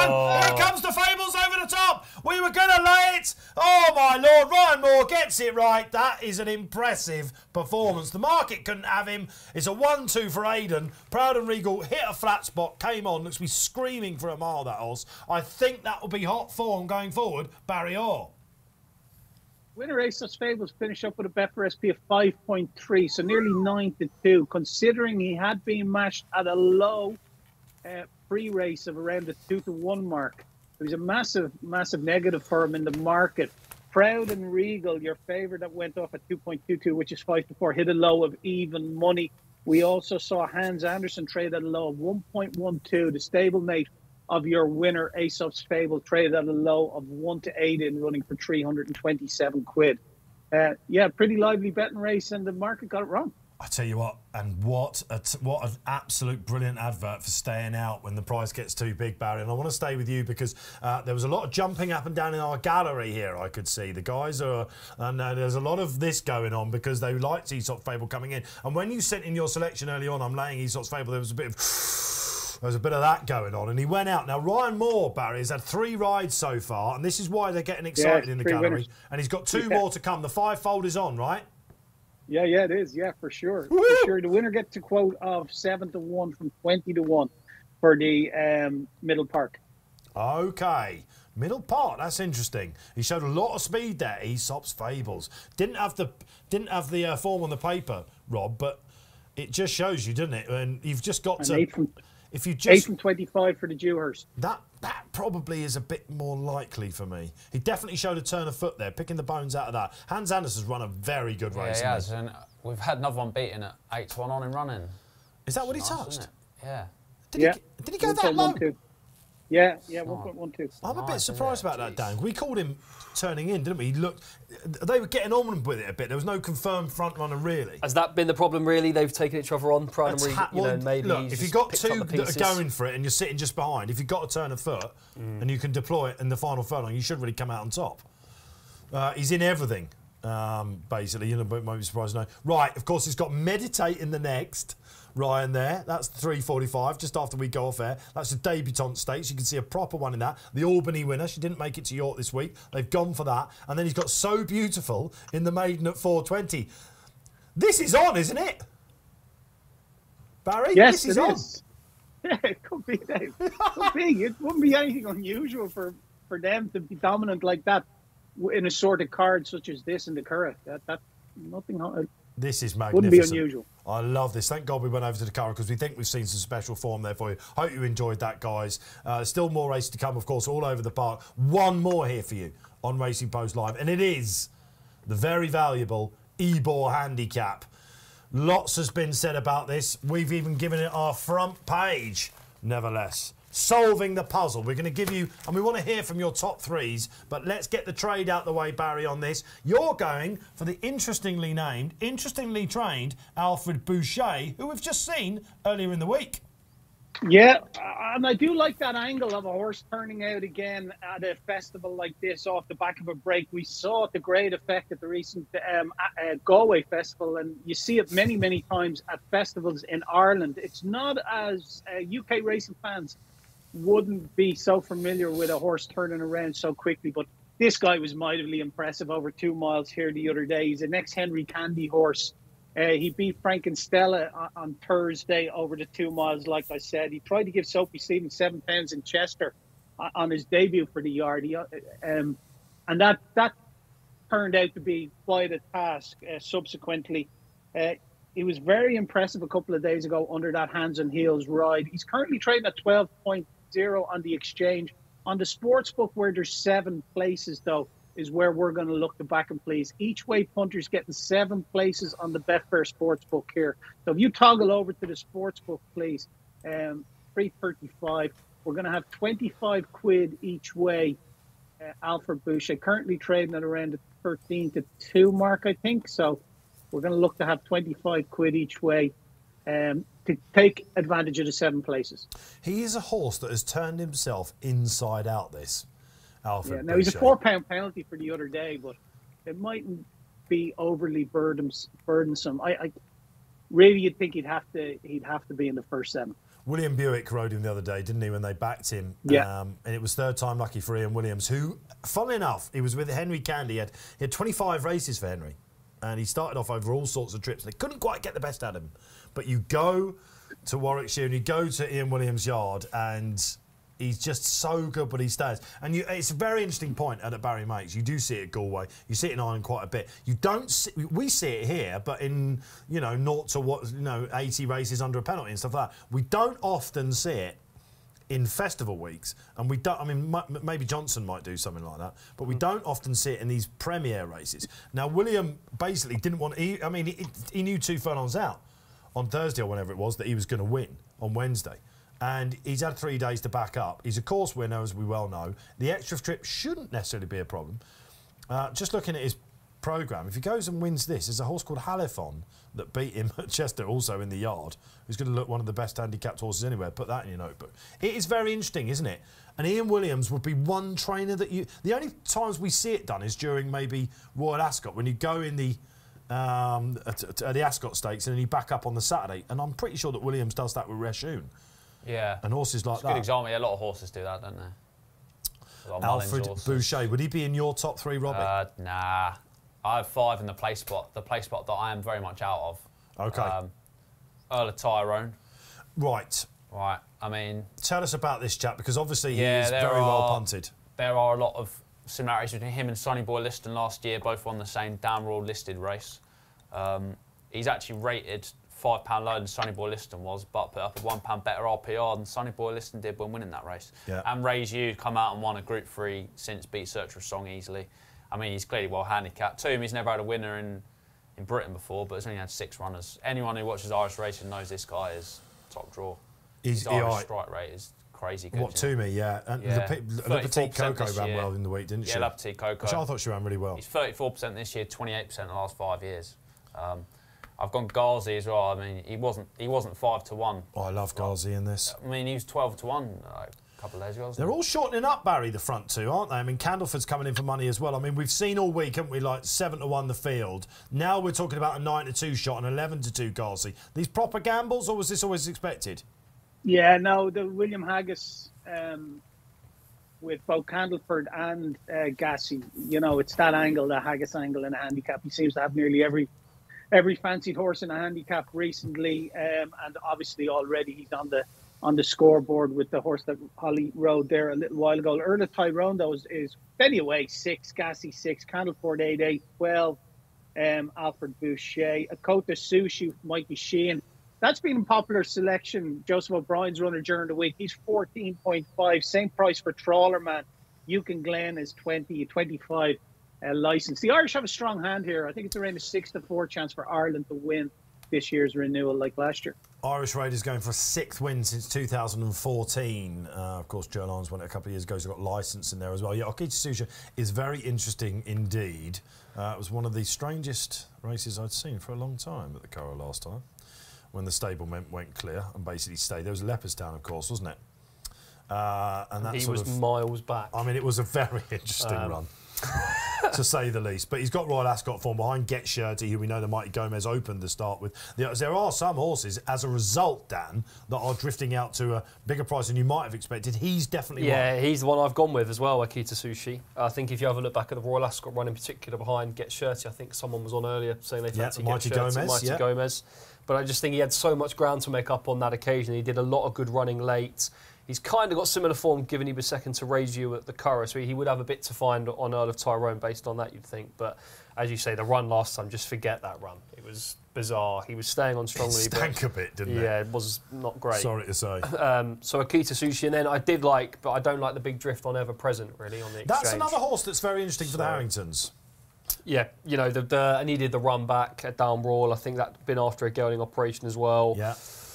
I just was a, I, I thought he'd be a bit more confident behind the horse. more confirmed stayer, isn't so- he? He's an interesting horse. If it, uh, you know, if the if the prize money thing wasn't an issue, then which it is at the moment, this guy would definitely have gone jumping for them. But he's a he's a very talented animal. Behind uh, Sagar Harding, Kilcruit and a couple of bumpers. So it, There you go. there you go. But There no, you- so kind of those two. But Okita Soushi should be the main one. Okay, all right. So we get the selections out of the way. It's Ghazi for me on top, the classy Ghazi, as everyone called him. Uh, it just, everything went wrong, didn't it? At, at uh, uh, behind Get Shirty at Haydock last time, they've kept him for this. There is some reservation we're led to believe in the camp about him actually staying, but he's half brother to a horse called Midra, who won over a mile five. I don't think it's a problem. And that chap was by Dubawi. This chap is by a stouter uh, sire indeed. I'm trying to remember who's that sire is. Let's go down. Who is it? Sea the Stars. Yeah, he's a Sea the Stars out of a Monsun mare. I mean, Ghazi surely gets home in this, doesn't he? Um, and Rob, we were on watching that show, weren't we? Mm, yeah, he was well unlucky, it, it was a good thing beaten. Yeah, he was well unlucky. Um, you can see why he's uh, got a lot of fans. He's a bit short in a race like this now for me. Yeah, well, yes. I mean, let's have. All right, that, that's a great. He's not even there, the Rob. Haggas first string either. winning favourites in this in the last ten years. Only one outright Oh, who's that? Remind two me. years ago. Oh, um, Um, two years ago. Ah, everyone out there's doing it, going. "Hey." Shall I put you out of your misery? Who trained it? Roger trained it. Bavarian. Roger Varian. There's only Um, one Roger. Fujaira Oh, Fujaira Prince. Prince. Fujaira. Yeah, I- I we wrote- got there in the end. I wrote about guys. him in the preview analysis. We got there in the end. complete. I went blank. Um, and he also won the Copper Horse handicap that Okita Soushi suggested. He just had that brilliant year, didn't he? F- F- Yeah. Fujaira, yeah. He was talented, but, but a little bit fragile. Uh, okay. I Well, mean- I've got him on top. I've got a flyer in there. Uh, if I had to have my three, let's get your threes in. You listen. We do it for big races. We should do it. I'm going to go around the panel. So, guys, I'll give you a minute to think about your uh, the dangers maybe to your horses. Um, I'm going to I'm going to take on our uh, Tyrone. I'm going to go with Ghazi. I'm going to go with uh, I think Okita Soushi will be there for Joseph and Mikey Sheehy, and I think Global Storm for Charlie Appleby and William Buick. I think I wrote two back. He's a big price. He was in this last year. I think he got given too much to do. He wants a trip. It's the sort of group horse that might take this out. He's got loads of experience. I like him. Buick's on 20 to 1 shot, shouldn't be that big. Danny Archer, you're 1, 2, 3 in the 2022 Ebor. Okita Soushi, Ghazi, and then I've got to stick with Ever Present. But I would also, I think Paul Kealy gives a mention to License of Ger Lyons. That is another Irish one to watch. But I just Two runners for Jer in this race, one win and a place. Mm. So I would give a shout out to that, but they'd be my three. All right, okay, so we're kind of agreeing. Uh, Robbie. Yeah, Lyons. I like License as well. Um, most unexposed horse in the field, but Lyons is only two from 67 in Britain. Made that 68 off the Dr Zempf earlier. Yeah. since 2013. It's not gone the way that they. great. They, they used to have winners over him. Yeah, it sure did. I mean, yeah, we had the Cheveley Park winner a while ago. He obviously did have Mustajeer to win this three years ago. There you go. But uh, yeah, he's one of the five I've got in the place spot. I've also got the aforementioned Ghazi and uh, Ola Tyrone. Uh, give a shout out to Yukon Glenn as well oh, because he's actually. Uh, I mean, he ran he ran in this off 116 last year. He's off 102. I mean, he's down to much more work. G Rod's put this up for a, uh, like one of the. He said one of Oh, the yeah, we- catches we of put- the season we- runs in the Ebor. So he said, yeah, we, we put him up as a top rated on RPLs for this. Um, unlucky at Goodwood last time, I thought. Um, interesting. And uh, the other one was John Leeper. Oh, uh, he ran in the City of York. Uh, that's John Smith Silver Cup Stakes. That was the key trial last year because the first, second, fifth, sixth, and seventh all ran in that last year. That- John Leeper's the only one. Some shrewdies like him for that. Are you going like S H R O O D shrewd? Could be. You you look like one of them. I think well, he's the big. He's out to twenty to one on Betfair Sportsbook. So I think that- if that's John bit too Leeper big. wins this, Barry, I need a desperado man. yeah, yeah. I couldn't have him on my mind to be brutally honest. Uh, he's wouldn't be one for me. Uh, if you're asking me, my three, it's Alfred Boucher over Trawlerman over Global Storm. Oh, global storm for you as well. Like that. Mm. Yeah, you get the feeling he's been running behind your beers and he's been sacrificed a little bit, making the running a few times. I don't. He's just he's just the sort of horse that if you go away from the sort of like more progressive Garcias, if you like, and Era Tyrones, he's just the sort of horse that could take this out. And I think they'll switch the tactics up from last time. Interesting, no one going for Candleford. So impressive, wasn't he? First time out at Royal Ascot. And then of course he went to the Soapy Stevens race at Newmarket. Just never really looked happy. It stunk of a second run back. That I could, again, bit su- su- surprised by that. Trawlerman. He's one of your horses, sort of Barry, because you put him up last time. He wears the hood Yeah, for good good reason, one. but he kept finding, didn't he, last time? Yeah, he certainly did. He's a tough, he's a tough cookie for sure. Uh, and he, he's what he got up, we went up, I think around four pounds for that win in Goodwood. Um, yeah, he's a good profile for this race, and Frankie, in, he'll be up out of trouble, that's for sure, because he likes to get on with things. So, uh, um, yeah, he- he's got good place um, prospects for sure. All right, you've heard our one, two, threes. Let's get out to the community out there. What are you saying? Darren Walker, good to see you again, Darren. Oh, goodness me, today is the day for John Leeper. The best bred horse, I think, anywhere on the planet, of course, isn't he? But he's an absolute nutbag. Are you thinking it's the fast pace then? Put him to sleep finally. And this is just the sort of thing that might wake him up. Know, he's got interesting York form, hasn't he? Uh, Nedster comes back on. Great social. I hope you saw that. We put that up, Nedster, of your. Uh, you were weighing with Barry around about the 51 to 1. We were saying on the sportsbook for uh, the Arc and Baaeed. Do you think Ghazi will be the one and license each way as well? Very unexposed. Frizzy Red with me and Barry says Global Storm for the E ball. Fingers crossed.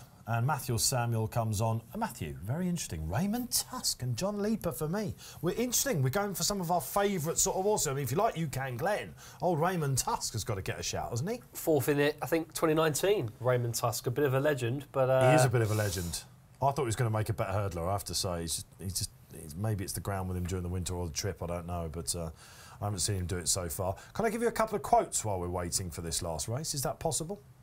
Please do. Oh, uh, thank you very much. I shall then. Um, William Haggas on Solcombe.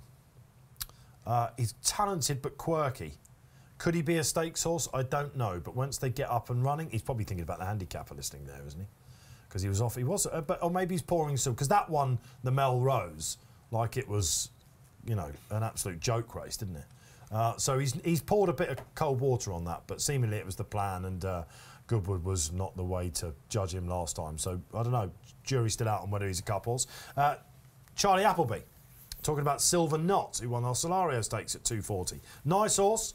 That Newbury novice is strong form. That's the Chaldean race, of course. He progressed there. Um, Making All wasn't the way to ride him at Kempton last time. Uh, he hung left a little bit. Pat gave him a lovely ride. Pat Dobbs, of course, got the ride today. Now, if I had to give him a target, let's look forward. Royal Lodge, or we could stick to seven furlongs. So you're talking about Royal Lodge, you're talking about Dewhurst. Um, but the ground was too quick for him at at Newbury. So they're suggesting he could be an autumn horse going forward. If you like Silver Knot, they certainly do at Godolphin. That's some uh, housekeeping then. Uh, what prices have we got for Ebor, uh, Aesop's Fable again, Barry? Remind me, has there been any love for that Dew, uh, that Dewhurst 8 to 1? He was 8 from 20 for the Dewhurst and 14 from 33 for the 2,000 guineas, and we put him in, an he's 7 from 20 for the Middle Park. So we've seen some very, very good horses today, haven't we? Favourite two-year-old so far? Favourite two-year-old so Uh, far? I'll put you on the spot A there. little big bear. But that's so obvious, isn't it? Oh, do you want one No, from that's today? fine. That's Or- totally fine. Uh, well, yeah, I mean, he's just by far the, the best. Is isn't he a guinea horse?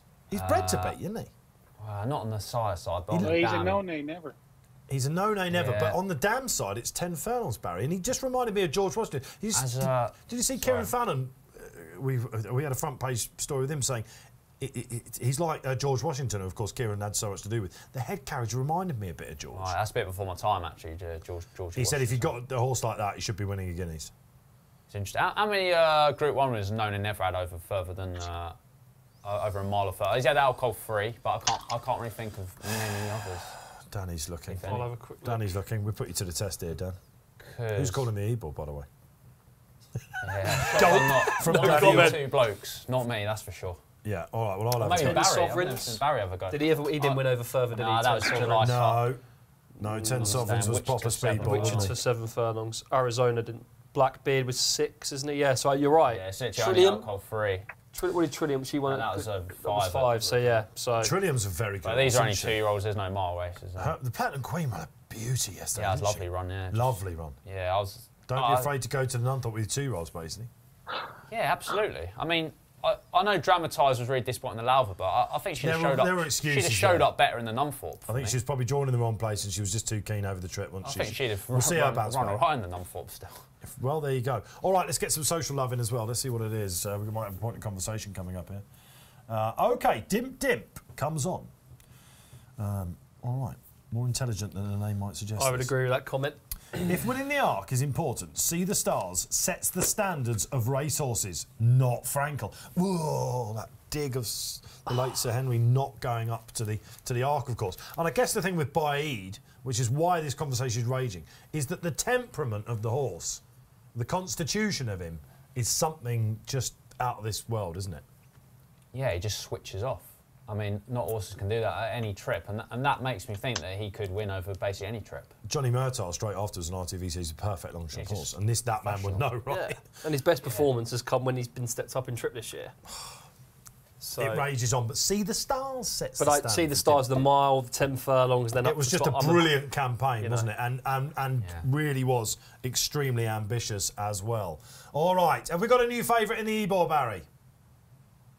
Uh, on the exchange, Gaassee is 5.3 clear favourite now ahead of Earl of Tyrone, who's 6, 11.5 Alfred Boucher, 13 Trawlerman, 12 Candleford, 14 Akita Sushi, 21 Ever Present Get Shirt Euchen Glen around that mark as well. License a bit negative. Ever Present, few quid for that now into 19. That did look a bit big, John and you Lee for the wondered, it's, you wondered if it's because the first two in the market were being hit a little bit that you might get some value, and they're stepping in a bit for uh, ever present, which is not surprising. Get Shirty, of course, the one one one horse. This is, uh, as you would imagine, for the prize money. This is extremely exciting, isn't it? Yeah, it's a good rate. You know, then the prize money deservedly has seen it attract a, a strong field. We've So got the you Irish says coming up, which has got even more prize money for this. Yeah, what's that worth now? Six hundred grand. Nuts, isn't it? It's great to see, though, isn't it? We- we- Come on, let's enjoy these big prizes. Why not? And like you said earlier, Yorker's Yorker's really you know stepped up, hasn't it? Yeah. I've seen some great crowds there as well. I'm not, I haven't seen numbers or anything like that, but every time I've seen a, a wave of it. Have you People been to York, say- Rob? I've not been, no. Oh, that's a No, journey yeah, you must make. It, is it? I, I, you know me, though, I don't really go to the course. No, you're always in here. I've been to one and been once in about three years. Yeah, you're in here more than the, I'm, lap, I'm the already in here, laptops yeah. and Good, the I TVs. live down the road, partly. Well, of course, absolutely. There's only so far the Boris is bike goes. yeah, exactly. Uh, Danny Archer, you're a busy man at the moment. What are you doing after this? You going to do the greyhounds for us? Yeah, it's ready. Yeah, long day today. Wow. I think I've got to try and get a tube home to Morden, so uh, could be fun. Could, could Uh, be fun Spurs have trade won. Barry. 1 0 against Wolves. It's going well, isn't it? Spurs have won. Yeah, I saw that. Yeah, yeah, Harry Kane with the winner. Harry Kane with a Sounded winner. like the Spurs absolutely dominated in the first half, though. It's like 12 shots to one from Wolves. My son was there today. What, is your Seven-year-old son- Sebastian. Is he a Watford fan? He certainly is. I wonder if that's still going to be the case when I meet him at Marylebone Can't at have 5 any more, pm. can't have any more Tottenham. I'm not. Yeah, Can't That stand oh, I tell you what, his godfather's a Tottenham supporter, and it, he's he's he's loving the fact that he's there today. Uh, Crystal Palace won, Aston Villa won. The way they celebrated getting a point against us last week was quite embarrassing, really. I'll tell you what, the Brentford bubbles burst. Fulham are doing them too now. Is it? I don't know what, how Watford are getting. I'm just trying to look. Anyway, we're going down to the start. Gaassee's got the hood on, the famous red hood. Smashed up. Four's favourite on the outright there. He, Haggas's record in this is the one race. uh, ev- uh, He's churned out from the Dante meeting on, isn't it? Yorkshireman William Haggas. You know, this is, this is where he aims Doesn't most of his very like good horses. Well, no, it's- of course he doesn't. But he's born and bred there, but spent most of his time in Newmarket. But he's never won this race. It's quite public out there, and he's won the Melrose now three times.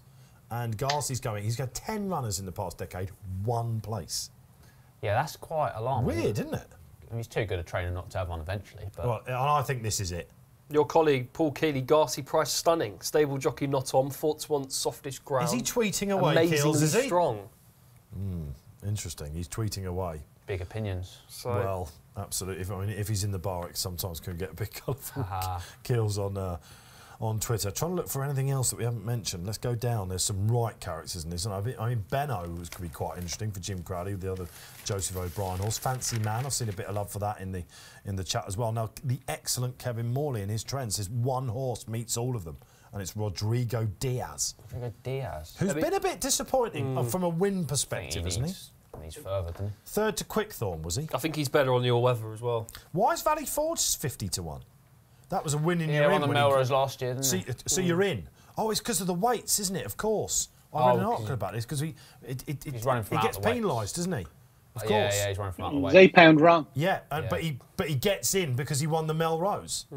Yeah, winning you're in. Yeah. Sh- Strangely, Enemy was very strong this morning, but has completely disappeared from uh, the top of the markets. But was into the other you know, Ian decent Williams price. horse, who again was a bit unlucky in the Sagaro Stakes and then found Quickthorn too good, didn't he? Can't have get shirty of 110. Hey, uh, the wide time's- draw's not a problem time's here, by the way, is it? No, No I one's worried don't think the it wide is. draw. No, I mean, was it uh, eight out of last ten when Yeah. It's been drawn? In fact, if you're on the inside, that tends to be a problem. Who's in the one poke? Let's have a look. Max oh, it's Max Vega. Vega. I'm glad we mentioned him. Rob Hornby having the season of his life, still. Uh, so he's he, again on back class. He's interesting, isn't he? But, but does he want a bit more juice? I don't know. Come on, who else haven't we mentioned? There's got to be some. Trawler man. I mean, you guys spoke about it. He didn't for, for Frankie Dettori. Um, yeah, we uh, Barry put him up. when We were on last on the show. I think Kate Tracy might have done it as well. And beat Bargdor, who is uh, aforementioned by Wilders over there, and he, he, he's still got races in him. That chap. And despite the first time hoodie and, him pulling, he kept pulling it out. And that was obviously over a mile six, so in a key race for this. Uh, so yeah, you know, he is interesting. He's one of Barry's top three. Uh, we, we'd all love to see you can Glen win. Put your money aside, you know. I think, I think he's got a half decent shout. To A nine-year-old winning this. A seven-year-old's won it. Litigant for Joseph Joe Chute, Toy, yeah. the Just departing on a good, Joseph I think he's on a good mark, Euchen Glen, to be honest. Well, he, it should be run to suit, shouldn't he? Who's going to lead? I think There's he's another better than he was two years ago when he was rated 102. Okay. All right. Hang on a minute. Uh, Who can be well? Max Vega has been prominent in the past. I'm trying to think who else would. Bear with me, Get Daniel. shirty, trawler man. They'll all be up front.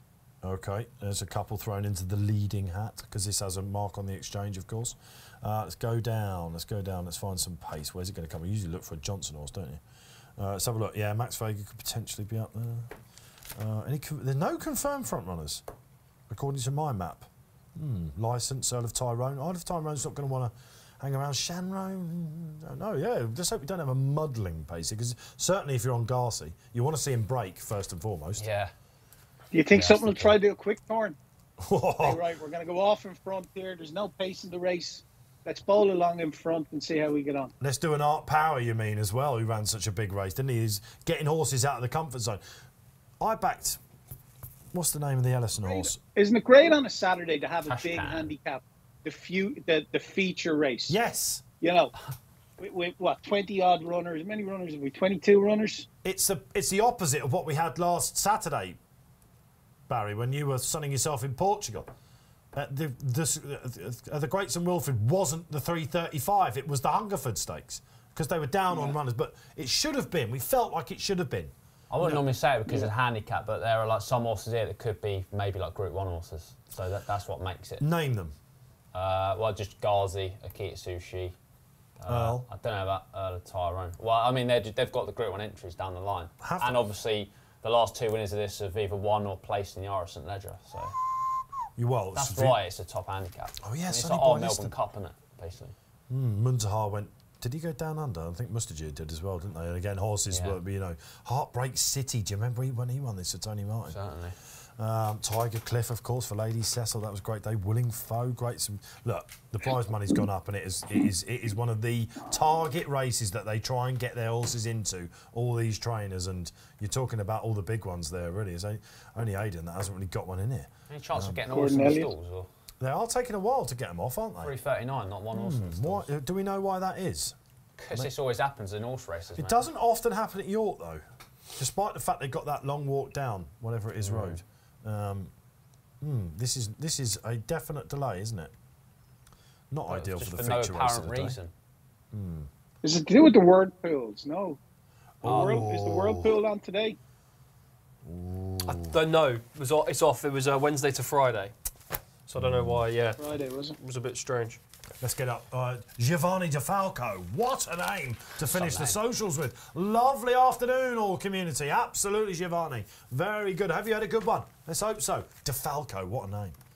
That's some name, isn't it? Juventus player, must be. Falco used to uh, band as well, weren't they? Got it. Amadeus, I think, their big song. Where we going oh, I that? pulled that one out. Falco was a great footballer as well, I think, wasn't he? Giovanni DeFalco. Loving that. Yeah, great afternoon. We have had a good afternoon. Numbers have been strong as ever.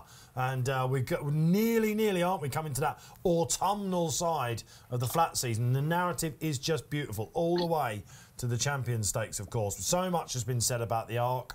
We know what you think. Baaeed ought to go. You were told at the start of the season that it really ought to be the case. Even Paul Kealy has now converted. They've all converted, saying he's been running over the wrong trip. He just looked so impressive, didn't he? And uh, even Highfield Princess yesterday, great feel good factor. We've seen some wonderful two-year-olds. This is when the two-year-olds, as Barry said, they really get going. Isn't it? Yeah, future champions weekend, not far away at Newmarket. Seen him today at the car. champions, yeah, a couple of very good ones there. Aesop's But I'm still very annoyed about Hans Andersen there. Uh, we got ha- uh, Hans Andersen and Aesop's Fables. Are they connected at all? I was thinking with the names. Sounds So like Hans Andersen was a Danish author. Yeah, exactly. So And, what uh, was Aesop's It's a, Fables? it's a Greek writer, Aesop, who wrote Fables. Thank you. I looked that up and Google Look at as well. the talent I'm in this studio you get with the today. mate, as long as you got it. Look at the talent I'm with. All right. They wrote a good stuff. story in that race, Dave. Thank you. Thank you. I'm trying. You've done very well, to be fair to you. 20, 20 Sti- minutes, I think, since our last race. Stick to headlines, Danny You- Archer. You are good at them. You've carried us. You were the Cabinet of Clowns man. Of I course, was Cabinet you? of Clowns, When yeah. that one No, offence, no comment. Boris. Um, Okay. Uh, all right, they're going in. You'll be thrilled to know. I'm going to try and call these home. Bear with me as we go along. Good luck wherever you've decided to play. Barry, a final market update. Is it all about Six. Gaassee? He's coming out again. Yeah, six, six two Gaassee, six eight Earl of Tyrone, nine Candleford, ten point five Alfred, eleven point five Trawlerman, seventeen Euchen Glen, some support for that, ever present twenty one. There you have them. I mean, it's a serious puzzle, this, isn't it? And uh, we've tried to help you along the way. Let's hope you've enjoyed this afternoon. We're off air after this, but let's get absolutely out with a out with a high, shall we? And off, indeed, we do go. And there's a highlight there, isn't it? Look at you, can Glen, and get shirty from the outside store being anchored right out the back. No confirmed front runners, we said, but perhaps unsurprisingly, Global Storm is up there with Trawler Man, the Godolphin horse is keeping it simple. What's that in third? Is that Uh, the Tyrone, present? the Jolly. The Jolly look, settled in third. We said he didn't want a Dawdle. I didn't see him being up there. There, other Irish Raiders, Shanrose up there, Akita Sushi's up there as well. What are you thinking if you're Euchen Glen at the moment, uh, Rob? Is that him at the back? That's him right at the back. That's a lot, lot of horses. What's this on the outside? It's Trawlerman. it's Trawlerman, Trawlerman. Frankie. Frankie. He swims against the tide, doesn't he, Frankie? This is like, do you remember when he won the Arc? Was it Golden Horn? Yeah. He went all the way wide, didn't he? He And stayed Star- out wide till he got to the bend. Yeah, and Star of Seville in the French jokes I remember. He's doing it here. Genius, isn't he? Absolutely brilliant. My Global Storm's as up there as well. John Um, Leaper's more prominent than I thought. Fancy Man is there. What's this in the red that's up as well? Max Vega. Let's have a look Then for it's some John others. Leaper and Benno out uh, the back. Alfred Boucher's following through, uh, following through John Leeper. Akita Sushi on the outside, ever present on the inside. Gar- John Gaassee second settled. last. I don't want to alarm you guys, but John Leeper has settled. Yeah. We're never at the It's a end of this day, from mate. some of the from some of the conspiracy theories. Now let's look for Gaassee, Rob. Where is he? On the rail. uh, he looks like he's pulling uh, Second last on the rail, bit. Yeah, he he? wants to go a bit further. What's it? Now they know Barry. What are they saying? No, it's it's pretty much wide open still. Five point seven Earl of Tyrone, six two Gaassee, although he's a wall of horses to get by. Six Trawlerman. He's the big mover on the in running market at the moment. 11.5 Alfred Boucher seems to still travel well. Uh, This is where we're turning in now, then, Barry, and this is where some of the jockeys will start to get a bit nervy and start to make their moves. I can see License is doing it uh, for Ger Lyons and, uh, Yeah. and Gary Carroll. He fancies. Look at Alfred Boucher. This is the horse that won only three days ago over over a little bit further on the bridle, pretty much. Akita Sushi comes wide. Candleford out the back. He's got loads to go. Enemy out they're the back. Raymond. Tusk there, but at the moment it's Well, Frankie and Global. Storm. Global Storm's come near side with the Earl of Tyrone at the moment. You've got to say he's the one John to be on. Leaper's cruising. John Leeper's absolutely son. cruising. No, no, no. Desperado time. Okay, here comes Alfred Boucher looking for Gaassee. He's on the bridle, Tom Marquand. Oh, down the middle, get but he's got loads to do. Global Newton Storm will keep going. so well Where's well. the Yuki? Alfred oh, Boucher. no Come on. PJ. Here comes the Boucher. Here comes the Hyacinth Boucher. Look at this coming through. Ian Williams had the plan. Surely not. Is this going to be the big hitter against the Earl? Garcia hasn't got home. Global Storm's still there. It's a one-two for Barry. This is ridiculous. Aye, aye, says Barry. He's only gone to near the evil. Global Storm's coming back at the line. Earl of Tyrone in third, but this is magnificent. Trawlerman or the Boucher? Oh, Trawlerman! Global Storm was in Trawlerman. Trawlerman. Trawlerman's gone up, I think. Oh, Frankie's done it. Oh my lord! Well, it was you, you had a three, Barry. Two of them up there. I think his head's down. Oh. Oh, that is a bobber. dead. I, I tell you what, I went to new decibel territory there because John that Leaper was an fourth. amazing shout. The Earl is definitely third. Euchen Glen's one. Yeah, it looks like Trawlerman's done it. If you're looking at the head on, is that quite the line? What's they it saying on the exchange, Barry? Four is on in the photo. He's four is on in the photo. Tell you what, the charity nearly nicked an absolute bundle there, but your other selection has gone and won it, Barry. Uh, the Earl of Tyrone, he ran a blinder, Rob. Yeah, no excuses really. Good position throughout. Oh, I tell you, I got excited then, as you could probably I think tell. Alfred Boucher wasn't even going to run. Uh, Williams said after he won the other day that he, was, he wasn't going to run in this. This is this is a great race. It hasn't Surprised. He's hit the disappointed. front. This Trawlerman's done well to knuckle back down, actually, if he has got up. It reminds you a bit of He's quick form last year, doesn't it? It was a that was a close finish, wasn't it? Sonny Boy Liston. Uh, the Tyrone's run well. I think Get Shirty I stayed on from the back. Global Storm. God, I'd settle for a dead heat here. Yeah, absolutely. No, they're taking their time about it, I guess, are they? But the market, and again, it, it don't always know with the exchange. Uh, let's see if we've gone to the colour all of a sudden for Ryan Moore's four timer. So uh, let's see if we can get back on where we're a little bit of York out there. We'll keep on the exchange. Barry, either way, great shout, man. Um, the two of your three have been up there all the way to the line. It looked like Alfred Boucher had it all the way, didn't he? Yeah, Frankie's one. Frankie's won it. Oh, Frankie wins the Ebor. Look at this, and he loves it. Will we see a flying dismount for the second time this week at York? Tell you what, Barry, that's some ride, isn't it? Going like the Golden Horn route, like he did there. And this is a horse that keeps on finding. If you're asking the wrong man that at the wrong time. I know you put him up in your. You look. You, you gave him. a, Well, I tossed up which one of them, and I ended up back in the second. And it was a short head, literally in my mind, which one of them I was backing. And I've just gone the wrong way there, so I'm a little bit deflated. I'm glad the show is finishing now. All right, fair enough. All right, it might be the same case for the guys next to me as well. Uh, look, you put up the Earl as well, Rob, as one of your three. He's run really well, hasn't he? But Yeah. Uh, Gaassee just didn't get home. He was a bit keen and he was on the bridle still a mile four out, just didn't get John home. Leaper's run well. Um, Euchen Glen was really unlucky again. He- again, It always is, isn't he? you can, Glenn, as you can't. shirt, he's outran expectations off top weight. Yeah, all right. I was going to different decibels there. I'm happy it's ending as well because I can get my voice back. Danny, it's been a great afternoon with you, man. Yeah, thanks very much, Dave. Thanks to Robbie and Barry as, again, as always. Yep, strong panel. Wilders, happy days. Looking forward to Alpinista Yeah. in the art now. Yeah, look forward to that. Look forward to the boxing tonight. AJ versus Usyk, Oh, of yes. course. Loads of sport out there, of course. Barry, great weekend. I'll see you next weekend. Yeah, look forward to it. I imagine there will be one or two desperados being cracked in Dublin right now. All right, good luck to all of you for the rest of the day. There's still more racing out there. We've been Racing Post Live in association with Betfair. I've been Dave Orton. See you next weekend.